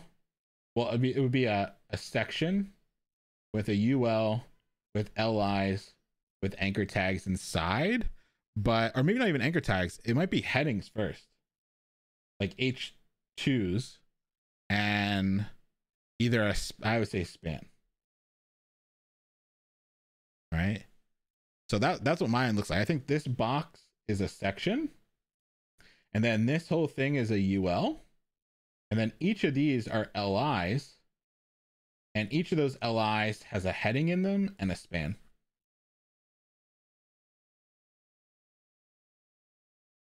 I'm literally using my fingertip because my Apple Pencil doesn't work for some reason. Y'all don't blame. Look, we already talked about this. We've been through this. Don't blame me. Blame the nuns. Don't blame me. Blame the nuns. We've been through this. Now, this can be overwhelming at first, right? And so, what I really want to put on yourself is don't worry about perfection here. Pick the most semantic thing you can think of and go with that. You're to have plenty of time to figure all this out the high heavens.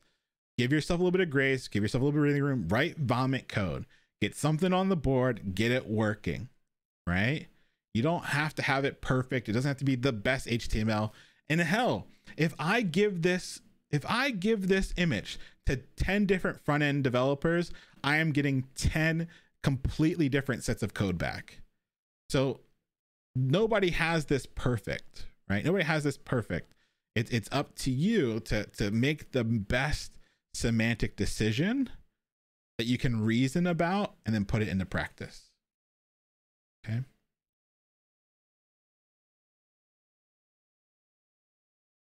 Uh, it could be inside of an anchor tag too. Like this stuff could be wrapped in an anchor tag. Like that H2 and span could be inside of an anchor tag. Um, so like that the that whole thing that like that whole area could be clickable, and that could that whole thing could be an anchor tag. It seems like the box is not clickable, but the heading is, uh, and so that gets us into some interesting territory. Mm-hmm.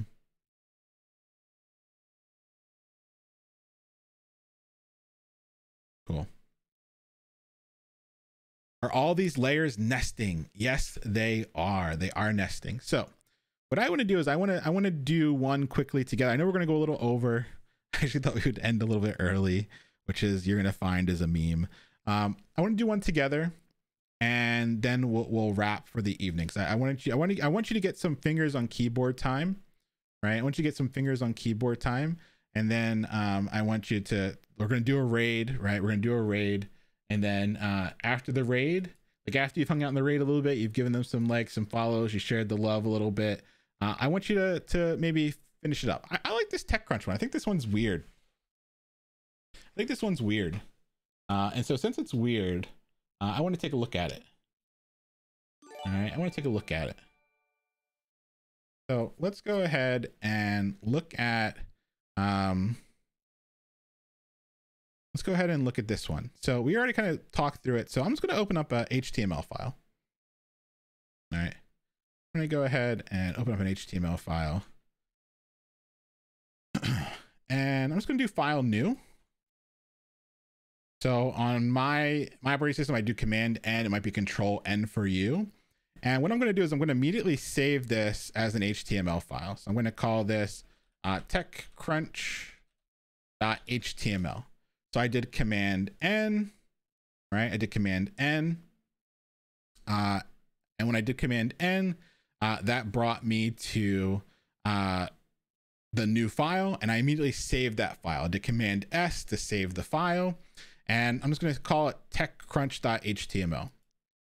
You have to save it as an HTML file. If you do not save it as an HTML file, you don't get all the stuff that we kind of just walked through that can help you. So now that I've saved it as an HTML file, I can just type out the word HTML. Yep. And I'm going to do the HTML5, hit enter. And now I have my head, I have my body, and I'm ready to rock and roll. Uh, I like to indent my head and body, put a little respect on the HTML element's name. And then inside the body, right? Inside the body, I'm going to start writing my, my, my HTML here. So I have, let's just say that that's the header and we're going to have uh, an image and then we're going to have a nav with uh, UL and LI. So let's go ahead and put our header in here. Cool. And you don't have to code along for right now. Kind of just watch this one. This isn't like a, you don't have to be coding this live. Like pay attention, watch, ask questions, and then we will go over it together. All right, so I have my header. Inside my header, I know I have like an image, and then I had my UL. Inside my UL, I had my LIs. And inside my LIs, I had my anchor tag. And that anchor tag was all different stuff. So it was search. Well, that's probably like a form of some sort. But startups, TechCrunch. Let's just say startups. And I'm just going to copy and paste this because there's like eight of them.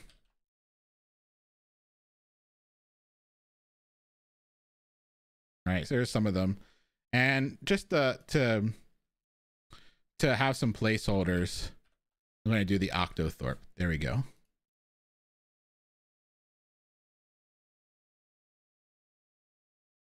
So the idea here is we looked at it. We said that this whole area was a header, maybe. Like I said, we don't care. We're, we're, we're trying to figure this stuff out. There's no perfection here. There's no absolutely right, absolutely wrong thing. Inside that header, we had like our logo, which was an image. We had uh, maybe a UL with a bunch of links in it. And so that's what we're kind of working through here. We got our header, the image. Let's just put like logo in here. Cool as the alt. We had a UL right? With a bunch of LIs and anchor tags in it. But let's think about this. What is this? What is this?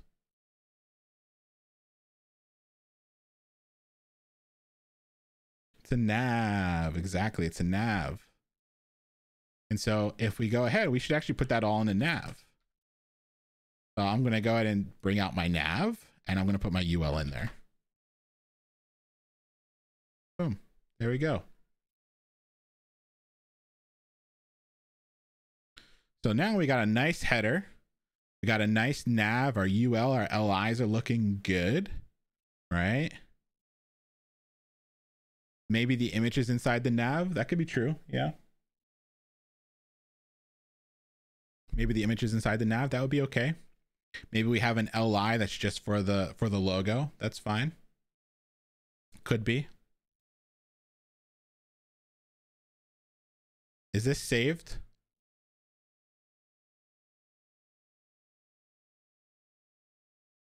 Not saved. Nope. There we go. Uh, we also might have some other stuff in here. This might be like a form. We could wind up with like a form in here somewhere. Like we might have a form outside the nav. It depends on whether or not it depends on whether or not this search shows up on every single page, right? If this search shows up on every single page, we might we might put it in the in the inside the nav. That would be okay. Like we can do that. Remember, fight the urge to pick stuff based on how it looks, right?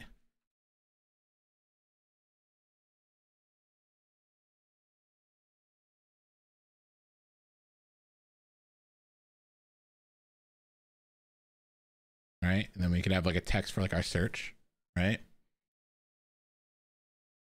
All right. So the idea being here that we could have uh, image in our nav. Maybe the form's inside there. Maybe it's inside one of our LIs. The idea here is that like it's it's it's. I want you to be a little bit free flowing with this. Don't don't get caught up in it having to be perfect, right? We're we're kind of riffing here a little bit. We're trying to think through the semantic decisions behind what we're doing, right? And if, if it doesn't have to be perfect, right? Get the idea of it being perfect out of your head. It just doesn't. You don't have to worry about that right now. You're gonna have years and years to be perfect. Right now, get a win on the board. Get get some ideas flowing. Right. Think through what it should be. Right. Cool. All right. So we I think we got a, a rough idea of what the header might look like. I'm gonna save it and let's go look at this next portion. All right, we got like this next big thing, which I'm probably going to say is a section. And so I'm just going to go ahead and put a section after my header here. Some folks might argue an article here, but I'm going to go with a section. I'm going to have an H1 in it and Microsoft buys Activision slash Blizzard, right? Uh, Brooks, you, it's your quality settings. You have to improve your, you have to change your quality settings on Twitch if it looks blurry. Cool. Derek, thank you for the hydration. Cabin. Thank you for posture check. Robo, thank you for the hydration. Cool. All right, so we got that section with the H1, Microsoft buys Blizzard. Let's take a look at it again. We had the Amanda Silberling um, that could be could be a span or it could be some sort of heading that describes the content that comes after. I don't know. Does the person's name actually describe the content? It is their article. I'm not going to get up in my my feels about it for right now. I'm just going to say a span. Something I might come back to, right? I might come back to and say, you know what, that that that should be um that should be somebody's like that that describes the content. I might come back to it, right? gonna take another look. Image, that's definitely an image for me. And so I'm gonna go and put an image in here. And I'm just gonna put the alt in for now, and that's gonna be like the I think it was like the Call of Duty Activision. There you go. Cool.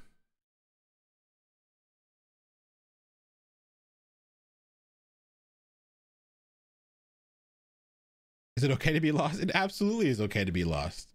But uh, you better jump in one of those voice channels and get help, you know? This is stuff that you should have seen in the Shay Howe. But if it's your first time ever being in a tech center and it's your first time ever even looking at this stuff, it's going to be completely just a, it's like a whole different language, right? And so it's okay to be lost. It's okay for a lot of this stuff not to make sense, but you got to put in the, the cognitive effort to get over it, right? You got, you got to put in the work to get there. So come back, rewatch the video if you have to. Make sure you're doing your active recall. Whatever I do, you try doing afterwards, right? So when you're done the raid, make sure you, yeah, yeah, yeah, yeah, you go back, you know? All right.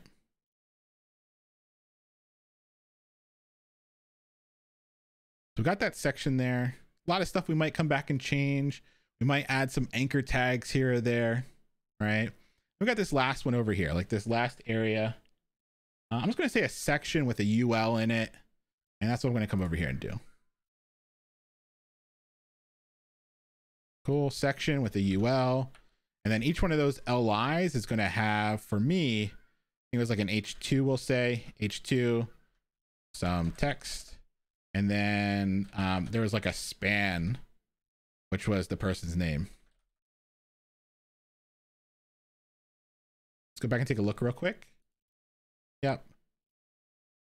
Heading, maybe a span, and then these were all like in a in a in a list somehow.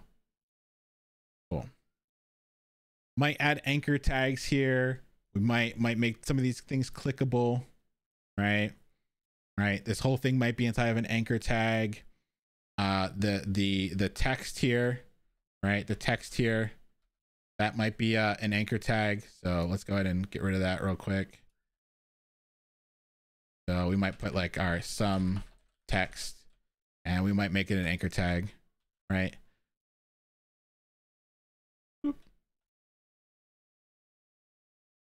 Right, we, we might make it an anchor tag, right? So like I said, there's a lot of little things you can come back and do. And I want you to play with this, right? The idea is I want you to play with these things. So I showed you a kind of a quick run through, right?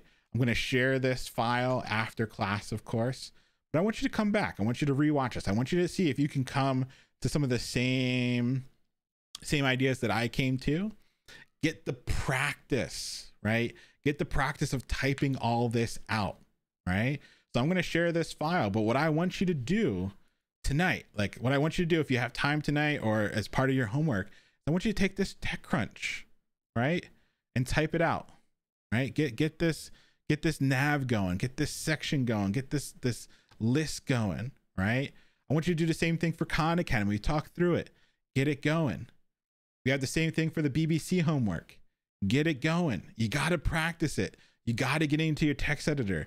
You got to you got to mess up. You got to make sure that things aren't like things aren't right, right? You got to make sure that like you you, you you play with it, right?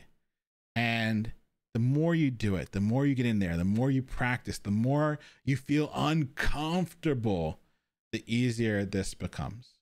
Okay. So do what you got to do. Jump into a voice channel, rewatch the video in a voice channel. I'm sure you have a bunch of folks that'll join you. Talk through together, talk through your semantic decisions together. If you're catching up as a VOD, jump into the catch up crew channel, watch it together, talk through it together, practice it together get your fingers moving, get into your text editor, break stuff. It doesn't have to be perfect. So that's what I really want you to focus on tonight is that it does not have to be perfect. Right? You you you you saw me making some guesses, some educated guesses. I put it in there. I might come back to it. I might change it, but it doesn't have to be perfect. Okay? This is your first time. Right? It's your first time for a lot of you writing HTML. Uh, and so let's get into it. When we come back on Thursday, we uh we shift some gears though, folks. We get into some CSS. So make sure you've gotten through the Shay Howe reading, and we're gonna do a, a little little little little little raid here. Um, we we talked about the Primeagen. Let's see if they're live. Let's see. I think they're live. Yep. Let's go and do a raid remember the when you raid you, you you get you get the channel points you want the channel points folks it's all about the channel points uh, so let's go ahead and get a raid in Primeagen. Uh, they're they're a wizard on the keyboard that, that's what i want you to see i want you to see what you could what you could get up to like how your how fast your fingers can move uh how how uh how leet your code could become and so let's let's go ahead and raid prime while they're live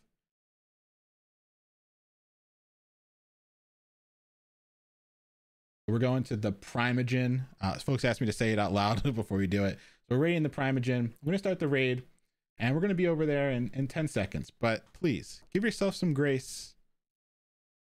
Get into your text editor, have some fun, break some things.